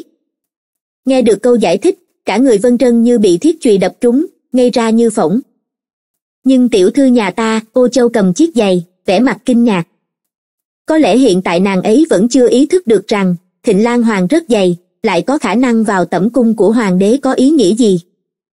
Nàng ấy không hiểu, nhưng tình hình thịnh lan hoàng trong lòng vân trân lại biết rất rõ. Còn về ngụy thư tỉnh có lẽ ban đầu y còn chưa hiểu nhưng trong lòng vô tình nhìn sắc mặt vân trân tâm như tro tàn cùng chiếc giày bị vứt trong hoa viên kia. Giờ phút này, chuyện tam tiểu thư thịnh gia có khả năng gặp lại, ngụy thư tỉnh ít nhiều cũng đoán được. Ngụy thống lãnh. Vân trân cắn môi, hít sâu một hơi, quay đầu nhìn ngụy thư tỉnh có thể làm phiền ngài hỗ trợ hỏi thăm xem có ai thấy tam tỷ nhà ta vào trong không? Có lẽ, tỷ ấy chỉ đi ngang đây, chưa từng đi vào. Đúng vậy, có lẽ chỉ đi ngang qua chưa từng đi vào. Tóm lại vẫn còn chút hy vọng, không phải sao? Ngụy thư tỉnh nhìn nàng, gật đầu, được. Dứt lời, y phái người đi tìm hiểu. Rất nhanh, người phái đi đã trở về, kết quả lại không như chờ mong của vân trân. Không. Ô châu kêu lên một tiếng, quay đầu, che hai mắt lại, bật khóc. Vân trân nhìn tòa viện trước mặt, đèn sáng sân, trong lòng trống rỗng. Thịnh cửu tiểu thư tiểu thư nên xuất cung rồi không biết qua bao lâu, ngụy thư tỉnh lên tiếng. Cổ họng vân trân khô khốc, ánh mắt lập lòe. Các nàng chỉ vào cung dự tiệc kiến hội tan, các nàng nên xuất cung, ai cũng không cản được. Không ai cản được vận mệnh lúc này của thịnh lan hoàng. Cũng không ai ngờ, có lẽ ngay cả người bỏ thuốc triệu hút e rằng cũng không tưởng tượng được, nước trái cây có vấn đề kia cuối cùng lại trời xuôi đất khiến bị thịnh lan hoàng uống hết, sau đó gặp hoàng đế. Tất cả, có lẽ là vận mệnh là trời cao muốn chơi đùa bọn họ. Nàng cứu triệu hút không ngờ lại vì vậy mà hại thịnh lan hoàng. Nếu khi ấy nàng có thể suy nghĩ nhiều hơn, có thể sớm đi tìm thịnh lan hoàng, sớm nói chuyện với liễu hoáng hoáng. Có lẽ, thịnh lan hoàng đã không uống hết nước trái cây có vấn đề kia. Cuối cùng, vân trân và ô châu ngồi xe ngựa, rời khỏi hoàng cung. Lúc tới, là ô châu đi cùng thịnh lan hoàng, nhưng bây giờ trở về thịnh lan hoàng bị giữ lại trong cung biến thành ô châu đi cùng nàng. Trên đường ô châu vẫn luôn lẳng lặng rơi lệ. Từ cuộc đối thoại giữa vân trân và ngụy thư tỉnh nàng ấy đã tỉnh táo lại biết tiểu thư nhà mình có lẽ đã xảy ra chuyện. Nhưng hiện tại ngoại trừ lo lắng nàng ấy cũng chỉ có thể tự trách. Chương 632, thịnh tài tử. Nếu khi đó nô tỳ ở bên cạnh tiểu thư tiểu thư cũng sẽ không xảy ra chuyện, ô châu nức nở. Rõ ràng, rõ ràng người tiểu thư nhà nàng thích là tứ hoàng tử Triệu Húc. Từ khi ở Lạc Khê biệt viện, ánh mắt đầu tiên tiểu thư nhìn thấy tứ hoàng tử, liền thích ngài ấy. Người nàng ấy thích rõ ràng là tứ hoàng tử, hiện giờ lại bị phụ hoàng của tứ hoàng tử. Nghĩ đến đây, ô châu thật sự khó chịu. Mà trong lòng Vân Trân cũng không chịu nổi. Nàng muốn an ủi ô châu, rồi lại không biết bắt đầu từ đâu. Lúc này, gió thổi bay màn xe, lộ ra không trung đen như mực. Đêm này, chỉ sợ vô cùng dày vò. Ngay thời điểm xe ngựa của Vân Trân nghiền qua đường lát đá, ở nơi nào đó trong hoàng cung. Triệu hút mặt không cảm xúc từ một cung điện ra ngoài. Điện hạ. Nguyên bảo chờ bên ngoài, thấy hắn đi ra, vội chạy tới, người đã bị đánh ngất rồi đưa tới. Ừ, trực tiếp đưa vào trong. Triệu hút nói. Vâng. Nguyên bảo đáp. Sau đó, hắn vất tay, liền có hắc y nhân khiêng một hộ vệ đi vào cung điện phía sau. Hôm sau, chú định là một ngày nhiều chuyện. Đầu tiên là từ hoa thanh cung của hoàng đế truyền ra tin đêm qua bệ hạ sủng hạnh một vị tiểu thư quan gia, ngay khi hoàng đế chuẩn bị phái người qua khôn càng cung báo với hoàng hậu, từ tiệp dư gần đây được hoàng đế sủng ái lại xảy ra chuyện. Buổi sáng, cung nữ trong cung của từ tiệp dư theo thường lệ vào trong hầu hạ từ tiệp dư rửa mặt chải đầu, nhưng lại không cẩn thận bắt gặp từ tiệp dư ở cùng một nam nhân trẻ tuổi, hai người lõa lồ nằm ôm nhau trên giường, cảnh tượng khiến người ta phải mặt hồng đỏ tai. Cung nữ hét lên, khiến những cung nhân khác chú ý. Không bao lâu, chuyện từ tiệp dư vụng trộm hán tử trong đêm thọ thần của Thái hậu truyền khắp hoàng cung, tuy rằng Vương Hoàng hậu vừa nhận được tin, đã lập tức nhốt tất cả cung nhân trong cung từ tiệp dư lại, đề phòng sự việc lộ ra. Nhưng dù sao, Vương Hoàng hậu cũng không thích từ tiệp dư. Từ tiệp dư xảy ra chuyện, ngoài mặt bà ta không nói, nhưng tâm trạng lại vô cùng cao hứng. Rất nhanh, chuyện này bị đưa tới trước mặt hoàng đế. Hoàng đế nghe xong, đương nhiên nổi trận lôi đình. Không ngờ tối qua mình vừa sủng hạnh một người, tiệp dư ngày thường ông ta sủng ái lại cho ông ta nội nón xanh. Hoàng đế không nói hai lời, trực tiếp xử tử từ tiệp dư và tên giang phu kia. Từ tiệp dư không ngừng kêu oan uổng. Chuyện này nháo đến chướng khí mù mịt. Hoàng đế giận đến mức thiếu chút quên chuyện tối qua mình sủng hạnh người mới, cuối cùng vẫn là công công bên cạnh nhắc nhở, lúc này mới nhớ bản thân còn nợ mỹ nhân một danh phận. Gần hoàng hôn, Vân Trân mới nhận được khẩu dụ truyền nàng và ô châu tiến cung. Người truyền khẩu dụ là một tiểu thái giám, nhìn các nàng, không nói gì thêm, chỉ bảo các nàng nhanh chóng thu dọn đồ đạc, chuẩn bị tiến cung. Tuy rằng qua một đêm, Vân Trân và ô châu bên này đã có chuẩn bị, nhưng thời điểm nhận được tin, trong lòng vẫn không nhịn được mà ảm đạm. Thu dọn đơn giản một chút, Vân Trân và ô châu theo thái giám kia tiến cung. Vào cung, tiểu thái giám dẫn các nàng rẽ ngang rẽ dọc, xuyên qua đình đài lầu cát, hoa viên cầu nhỏ, cuối cùng dừng trước tòa cung điện trước mặt. Thịnh tài tử ở bên trong, hai người vào đi. Nói xong, tiểu thái giám xoay người rời đi. Cửu tiểu thư, ô châu quay đầu, khiếp sợ nhìn nàng, vừa rồi nội thị kia nói gì? Thịnh tài tử. Thịnh tài tử không phải là...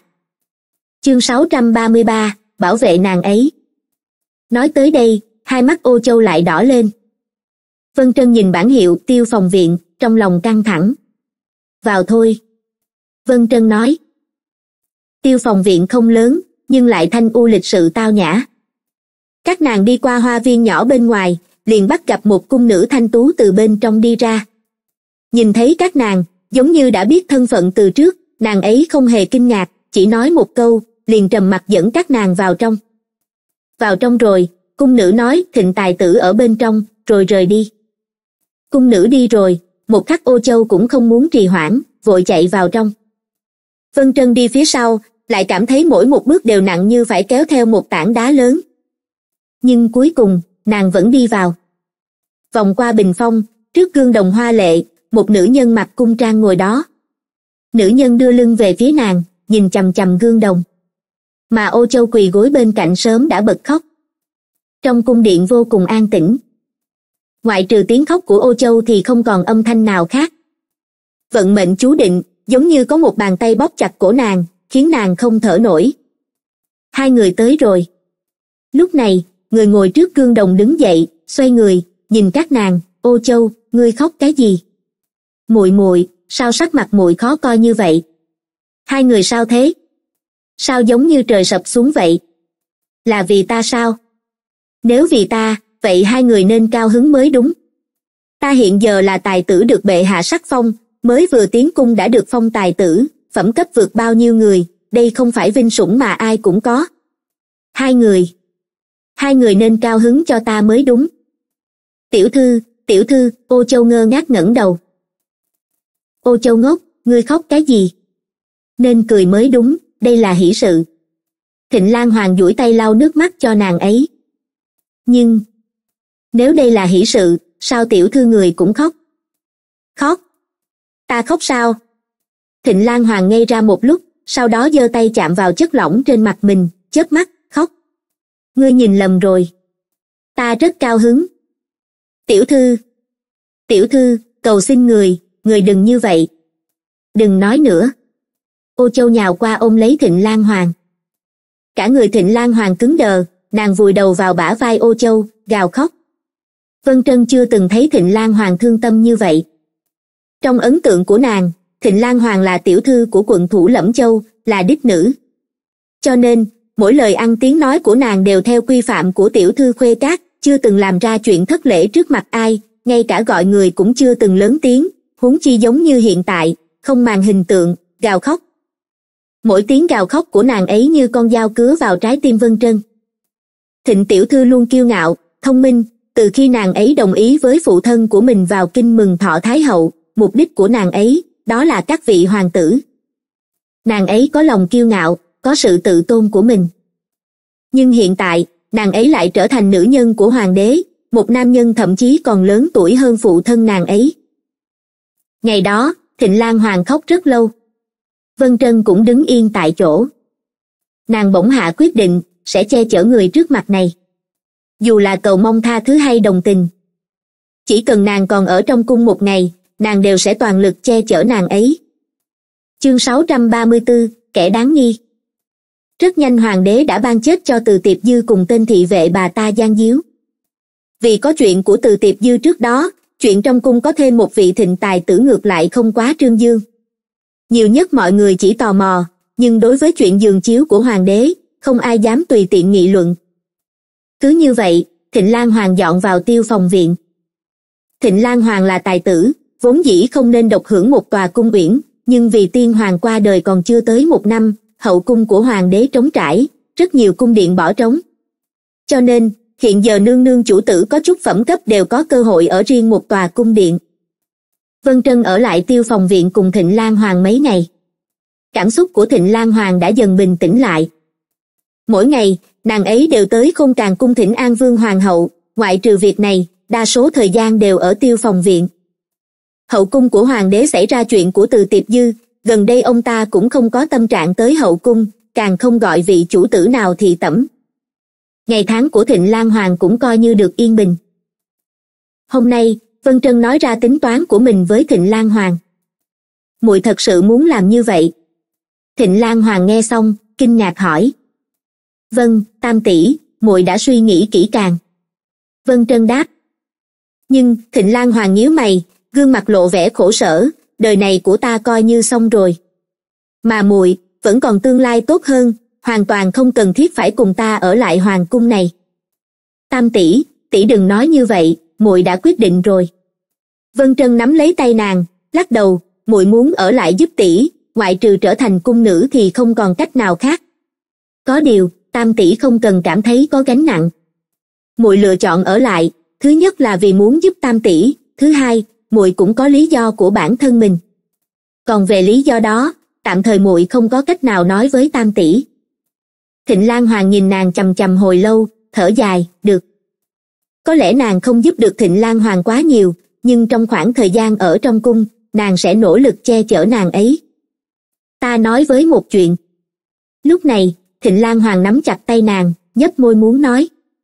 Vân trân ngây ra một lúc, nhìn nàng ấy, nghe nàng ấy nhẹ giọng, đêm đó, chính là đêm mừng thọ thái hậu, ta thật ra thật ra không cẩn thận trúng chiêu của người khác uống phải nước bị người ta bỏ thuốc vân trân không ngờ thịnh lan hoàng sẽ chủ động nhắc lại chuyện đêm đó nghe nàng ấy nói vân trân không khỏi căng thẳng mà bản thân Thịnh Lan Hoàng cũng trở nên nghiêm túc. Cho nên, ta nghi ngờ nước trái cây kia có vấn đề, nói tới đây, Thịnh Lan Hoàng rối rắm, nhưng nước trái cây kia là hoáng hoáng đưa cho ta. Tuy rằng ta không muốn hoài nghi muội ấy, nhưng chuyện này, dù thế nào cũng có liên quan tới muội ấy. Nói xong, Thịnh Lan Hoàng liền cau mày. Vân Trân nhìn nàng ấy. Tâm trạng nàng ấy lúc này, sao nàng không hiểu? Thịnh Lan Hoàng đang nghi ngờ Liễu Hoáng Hoáng. Nhưng Liễu Hoáng Hoáng và nàng ấy thân như tỉ muội, mấy ngày nay, hai người ở chung rất tốt. Thịnh Lan Hoàng không muốn tin kẻ đứng sau hạ thuốc là Liễu Hoáng Hoáng. Có lẽ không phải nàng ấy. Sau khi xảy ra sự việc, nàng ấy là người đáng nghi nhất, nhưng nàng ấy không ngốc như vậy, Vân Trân do dự nói.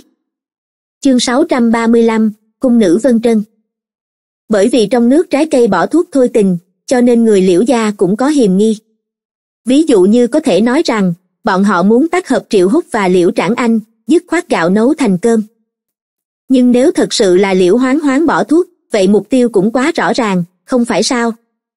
Nhưng có đôi khi, kẻ đáng nghi nhất ngược lại là người bị loại trừ đầu tiên.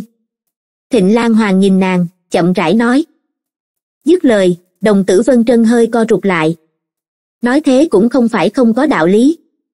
Nước trái cây có vấn đề kia là liễu hoáng hoáng đưa cho Thịnh Lan Hoàng. Khi Thịnh Lan Hoàng tỉnh táo lại, người đầu tiên hoài nghi khẳng định là liễu hoáng hoáng. Nhưng ngay sau đó, nàng ấy sẽ nghĩ, nếu thật sự là liễu hoáng hoáng, vậy nàng ta có phải quá ngốc hay không? Tùy tiện sai một hạ nhân làm là được, vẫn có phần thắng cao hơn tự mình ra tay. Bởi vậy, liễu hoáng hoáng sẽ nhanh chóng được loại trừ hiềm nghi. Hình như có một câu.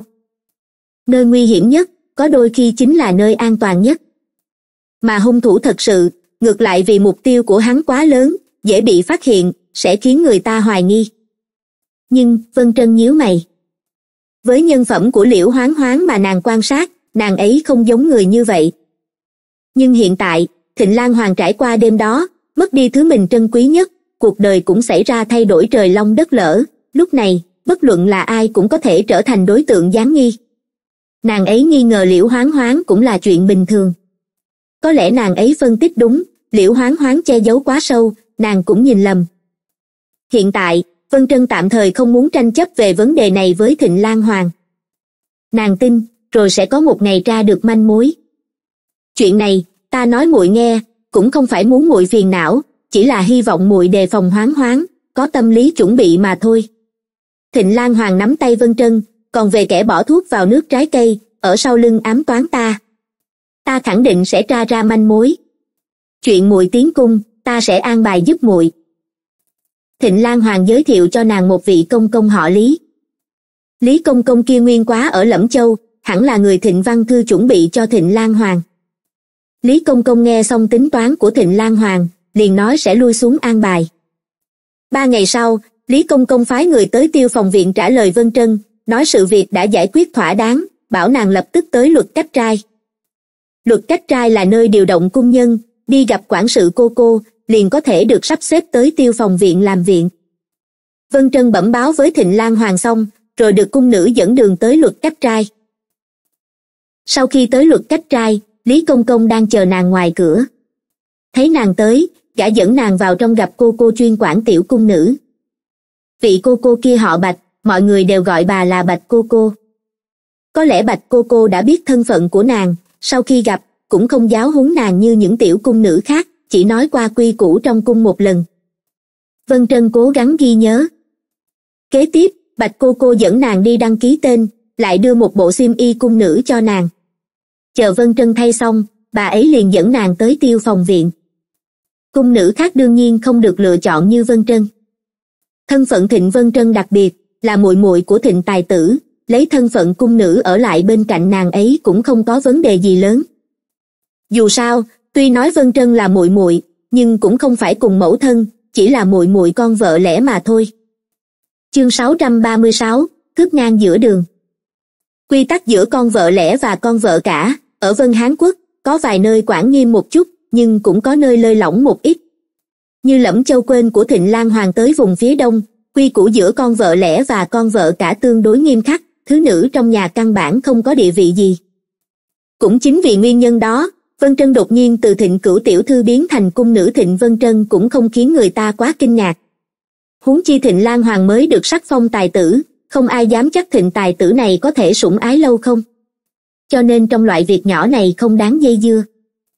Dù sao tỉ muội người ta, muốn ai hầu hạ ai thì cứ hầu hạ, làm người ngoài, cũng không tiện bình luận.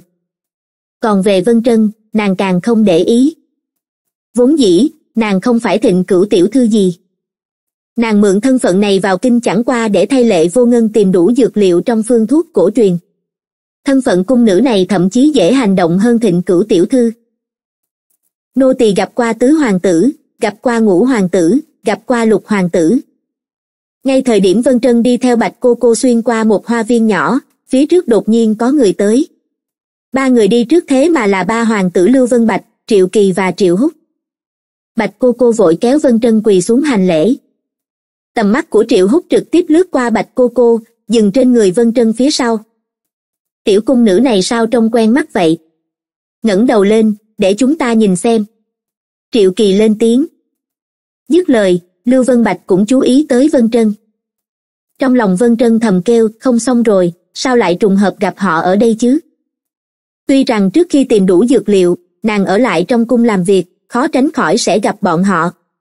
Nhưng ở trong kế hoạch của Vân Trân, chắc chắn không phải lúc này. Có điều hiện tại, nàng không thể cự tuyệt. Hít một hơi thật sâu, Vân Trân chậm rãi ngẩng đầu, lần nữa hành lễ với ba người họ. Cửu tiểu thư thịnh gia. Sao tiểu thư lại trở thành cung nữ? Triệu Kỳ kinh ngạc hỏi. Lưu Vân Bạch đứng bên cạnh khẽ cười, khiến người ta không đoán được hắn đang nghĩ gì. Còn về Triệu Húc, thời điểm Triệu Húc hành lễ với họ, cung mày vẫn luôn nhíu lại, sắc mặt vô cùng khó coi. Hồi ngũ hoàng tử, cung nữ Vân Trân luyến tiếc thịnh tài tử, cho nên quyết định ở lại bên cạnh thịnh tài tử, chiếu cố nàng ấy.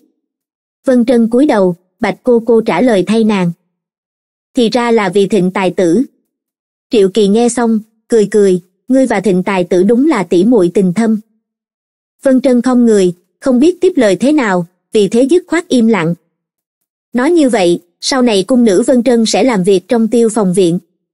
Đúng lúc này, Lưu Vân Bạch bỗng nhiên hỏi. Hồi tứ hoàng tử, đúng là như thế. Hiện tại nô tỳ đang muốn dẫn nàng ấy tới tiêu phòng viện bái kiến thịnh tài tử. Bạch cô cô đáp. Lưu Vân Bạch nghe vậy, cười nói, có nghĩa là, bây giờ nàng ấy chưa phải là người của tiêu phòng viện. Vừa nói ra lời này, mọi người ở đây đều cả kinh. Vân Trân ngẩng đầu nhìn Lưu Vân Bạch, đôi mắt xẹt qua một tia cảnh cáo. Nhưng Lưu Vân Bạch căn bản không quan tâm, còn cười với nàng. Đúng. Đúng vậy, Bạch cô cô hoàng hồn, căng thẳng trả lời. Một khi đã vậy, Lưu Vân Bạch chậm rãi đi tới trước mặt Vân Trân, nâng cầm nàng lên, nheo mắt cười nói, vậy tới Thủy Hoàng Cung của ta, sao hả? Chương 637, vậy gọi ngươi là Trân Nhi đi nghe Lưu Vân Bạch nói, Vân Trân giật mình. Thủy Hoàng Cung Nàng nhớ nơi Lưu Vân Bạch ở tên là Thủy Hoàng Cung. Tứ Tứ Hoàng tử, việc này chỉ sợ không ổn.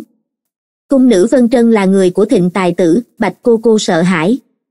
Vân Trân là người Lý Công Công giao cho bà ta, nếu bà ta nửa đường làm mất người, bên chỗ Lý Công Công không thể giải thích. Cuối cùng, bà ta chỉ đành đánh bạo mở miệng. Có gì không ổn? Lưu Vân Bạch nhìn Bạch cô cô, bổn điện hạ chẳng qua muốn một cung nữ, chẳng lẽ thịnh tài tử cũng không cho? Không đúng. Hiện giờ cung nữ Vân Trân vẫn chưa phải người của tiêu phòng viện. Nếu ngươi cảm thấy không ổn, chúng ta có thể tới trước mặt phụ hoàng, nhờ ngài ấy phân xử, thế nào hả? Nô tỳ không dám, nô tỳ không dám. Bạch cô cô hoảng sợ tới co rúm người. Trong cung này có ai không biết người hoàng thượng sủng ái nhất chính là tứ hoàng tử, nếu thật sự đem việc này tới trước mặt hoàng thượng, cái đầu của bà ta sợ rằng đừng hòng giữ lại. Tứ hoàng huynh, huynh hà tất khó xử một cô cô. Triệu kỳ từ trong kinh ngạc hoàng hồn, khuyên nhủ, mọi việc đều nên có thứ tự trước sau. Ta nghĩ, là đi tiêu phòng viện hay đến thủy hoàng cung, nên để cung nữ Vân Trân quyết định mới đúng. Triệu Kỳ vừa dứt lời, mọi người lần nữa nhìn về phía Vân Trân. Vân Trân nhấp môi, lạnh lùng nhìn Lưu Vân Bạch.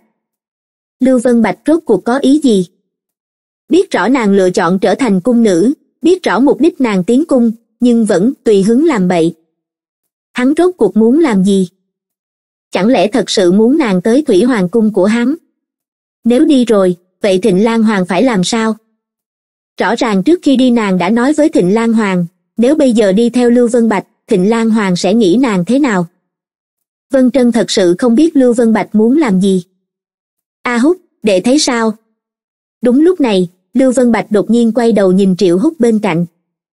Vân trân sửng sốt, cũng theo bản năng nhìn triệu hút ánh mắt hai người giao nhau một chút, liền tách ra. Lưu vân bạch nói tiếp, để nói xem, cung nữ vân trân này nên lựa chọn thế nào đây? Nàng ấy sẽ chọn tới thủy hoàng cung của ta hay tới tiêu phòng viện của thịnh tài tử? Vân trân nhìn chằm chằm triệu hút tuy rằng trong lòng có một giọng nói không ngừng cảnh cáo nàng, đừng nhìn triệu hút đừng ngay lúc này nhìn triệu hút trực tiếp từ chối lưu vân bạch là được. Nhưng nàng vẫn không nhịn được mà muốn xem, theo bản năng muốn xem, hoàn toàn không khống chế được. Nhưng nàng lại thấy trong ánh mắt của triệu hút lộ rõ sự chán ghét. Lập tức, cả người cứng đờ. Chẳng qua là một cung nữ, tự tứ hoàng huynh quyết định là được triệu húc nói xong, không hề nhìn vân trân, mà ông quyền với lưu vân bạch và triệu kỳ, hai vị hoàng huynh, ta còn có việc, cáo từ trước. Dứt lời, hắn xoay người bỏ đi. Vân trân quay đầu nhìn chằm chằm dưới chân. Trong lòng không khỏi chua xót. Xem ra a húc đẩy ngươi cho ta rồi. Lưu vân bạch khẽ cười, nhìn đỉnh đầu vân trân, thâm thúy nói, một khi đã vậy, ngươi theo ta tới thủy hoàng cung đi. Còn nữa nếu hiện giờ ngươi đã là cung nữ của thủy hoàng cung ta, vậy nên sửa tên lại. Sửa thành tên gì thì tốt nhỉ? Hay cứ gọi là trân nhi đi, đơn giản, lại dễ nhớ. Chương sáu trăm ba mươi tám, phản bội, phẫn nộ. Cứ như vậy, vân trân bị lưu vân bạch cướp ngang giữa đường, từ người sắp là cung nữ của tiêu phòng viện biến thành cung nữ của thủy hoàng cung. Triệu kỳ đứng tại chỗ nhìn lưu vân bạch dẫn vân trân đi. Trân nhi sao? Thú vị. Triệu hy, ta thấy huynh cố ý trêu chọc hắn thì có. Trở về bẩm báo đúng sự thật. Có chuyện gì, cứ để tứ hoàng huynh chịu trách nhiệm thay ngươi. Triệu kỳ nói với bạch cô cô. Nói xong, cả cũng dẫn người rời đi. Bọn họ đi rồi, bạch cô cô mới bò dậy. Nghĩ đến người lý công công kêu bà đưa tới tiêu phòng viện, nửa đường bị ba vị điện hạ chặn lại. Đây đây rốt cuộc là chuyện gì chứ? Bạch cô cô thở dài, cuối cùng chỉ có thể bẩm báo đúng sự thật với lý công công. Sau khi biết chuyện, lý công công đi kể lại với thịnh lan hoàng. Thịnh lan hoàng đang đứng bên cửa sổ tưới nước vào bồn hoa, sau khi nghe lý công công bẩm báo, gáo nước đổ đầy đất. Tài tử. Ô châu kinh ngạc gọi một tiếng, vội nhặt gáo nước lên. Ta không sao. Thịnh lan hoàng phất tay, cho lý công công lui xuống. Tiểu thư, sao lại như vậy? Cửu tiểu thư không phải là cung nữ của tiêu phòng viện sao? Vì sao lại đi theo tứ hoàng tử? Nàng ấy, thời điểm trong phòng chỉ còn lại hai chủ tử, ô châu không cần quá cố kỵ, trực tiếp nói ra suy nghĩ. Nàng vẫn còn nhớ, người tiểu thư nhà mình thích chính là tứ hoàng tử. Hiện giờ, cửu tiểu thư kia rõ ràng nói muốn ở lại bên cạnh tiểu thư nhà mình, làm cung nữ, chiếu cố tiểu thư. Kết quả chỉ chớp mắt, nàng ấy liền trở thành người của tứ hoàng tử điều này khiến ô châu không thể hiểu nổi. Đây cũng không phải chuyện mùi ấy có thể làm chủ. Thịnh lan hoàng ngồi xuống, nửa ngày sau, mới nói. Từ khi trở thành thịnh tài tử, thịnh lan hoàng luôn cố tình né tránh tất cả đề tài liên quan tới tứ hoàng tử. Nàng không muốn nghĩ, cũng không muốn nghe người khác nhắc đến. Nàng sợ sợ nhớ tới, sẽ cảm thấy bản thân đáng thương cỡ nào. Nhưng càng không muốn nghĩ, vết sẹo trong lồng ngực càng không thể lành lại nó cứ thế bị tro bụi che lấp, một khi vạch trần, vết thương lại càng nặng. Nàng ấy không làm chủ được. Nhưng đang êm đẹp, tứ hoàng tử muốn nàng ấy làm gì? Nếu không phải lúc trước nàng ấy lén tiểu thư từng tiếp xúc với tứ hoàng tử, tứ hoàng tử sao có thể không màng mặt mũi của người, mạnh mẽ cướp đoạt nàng ấy đi? Ô châu nói. Nàng cũng vì chủ tử mà sốt ruột, nghĩ đến tình cảnh hiện giờ của thịnh lan hoàng lại nghĩ đến cửu tiểu thư đến từ nông thôn kia không cần tốn chút sức lực đã được hầu hạ bên cạnh ý trung nhân của tiểu thư. Chỉ nghĩ như vậy, ô châu liền cảm thấy bất bình. Có lẽ có lẽ, thịnh lan hoàng muốn biện giải thay vân trân, nhưng nàng phát hiện, một nơi nào đó sâu trong lòng cũng tán thành ô châu. Nếu không phải hai người sớm có tiếp xúc, vì sao tứ hoàng tử lại muốn nàng ấy? Rõ ràng biết nàng ấy là hạ nhân trong cung của nàng. Lúc này nàng lại nghĩ tới ngọc nhung công chúa. Ngọc nhung công chúa nói thịnh vân trân rất giống một vị cố nhân của nàng ta. Nếu là cố nhân vậy tứ hoàng tử có quen biết cố nhân đó không? Ngài ấy lựa chọn vân trân liệu có phải vì nàng ấy trông rất giống vị cố nhân kia? Hết phần 19, mời các bạn đón nghe phần 20.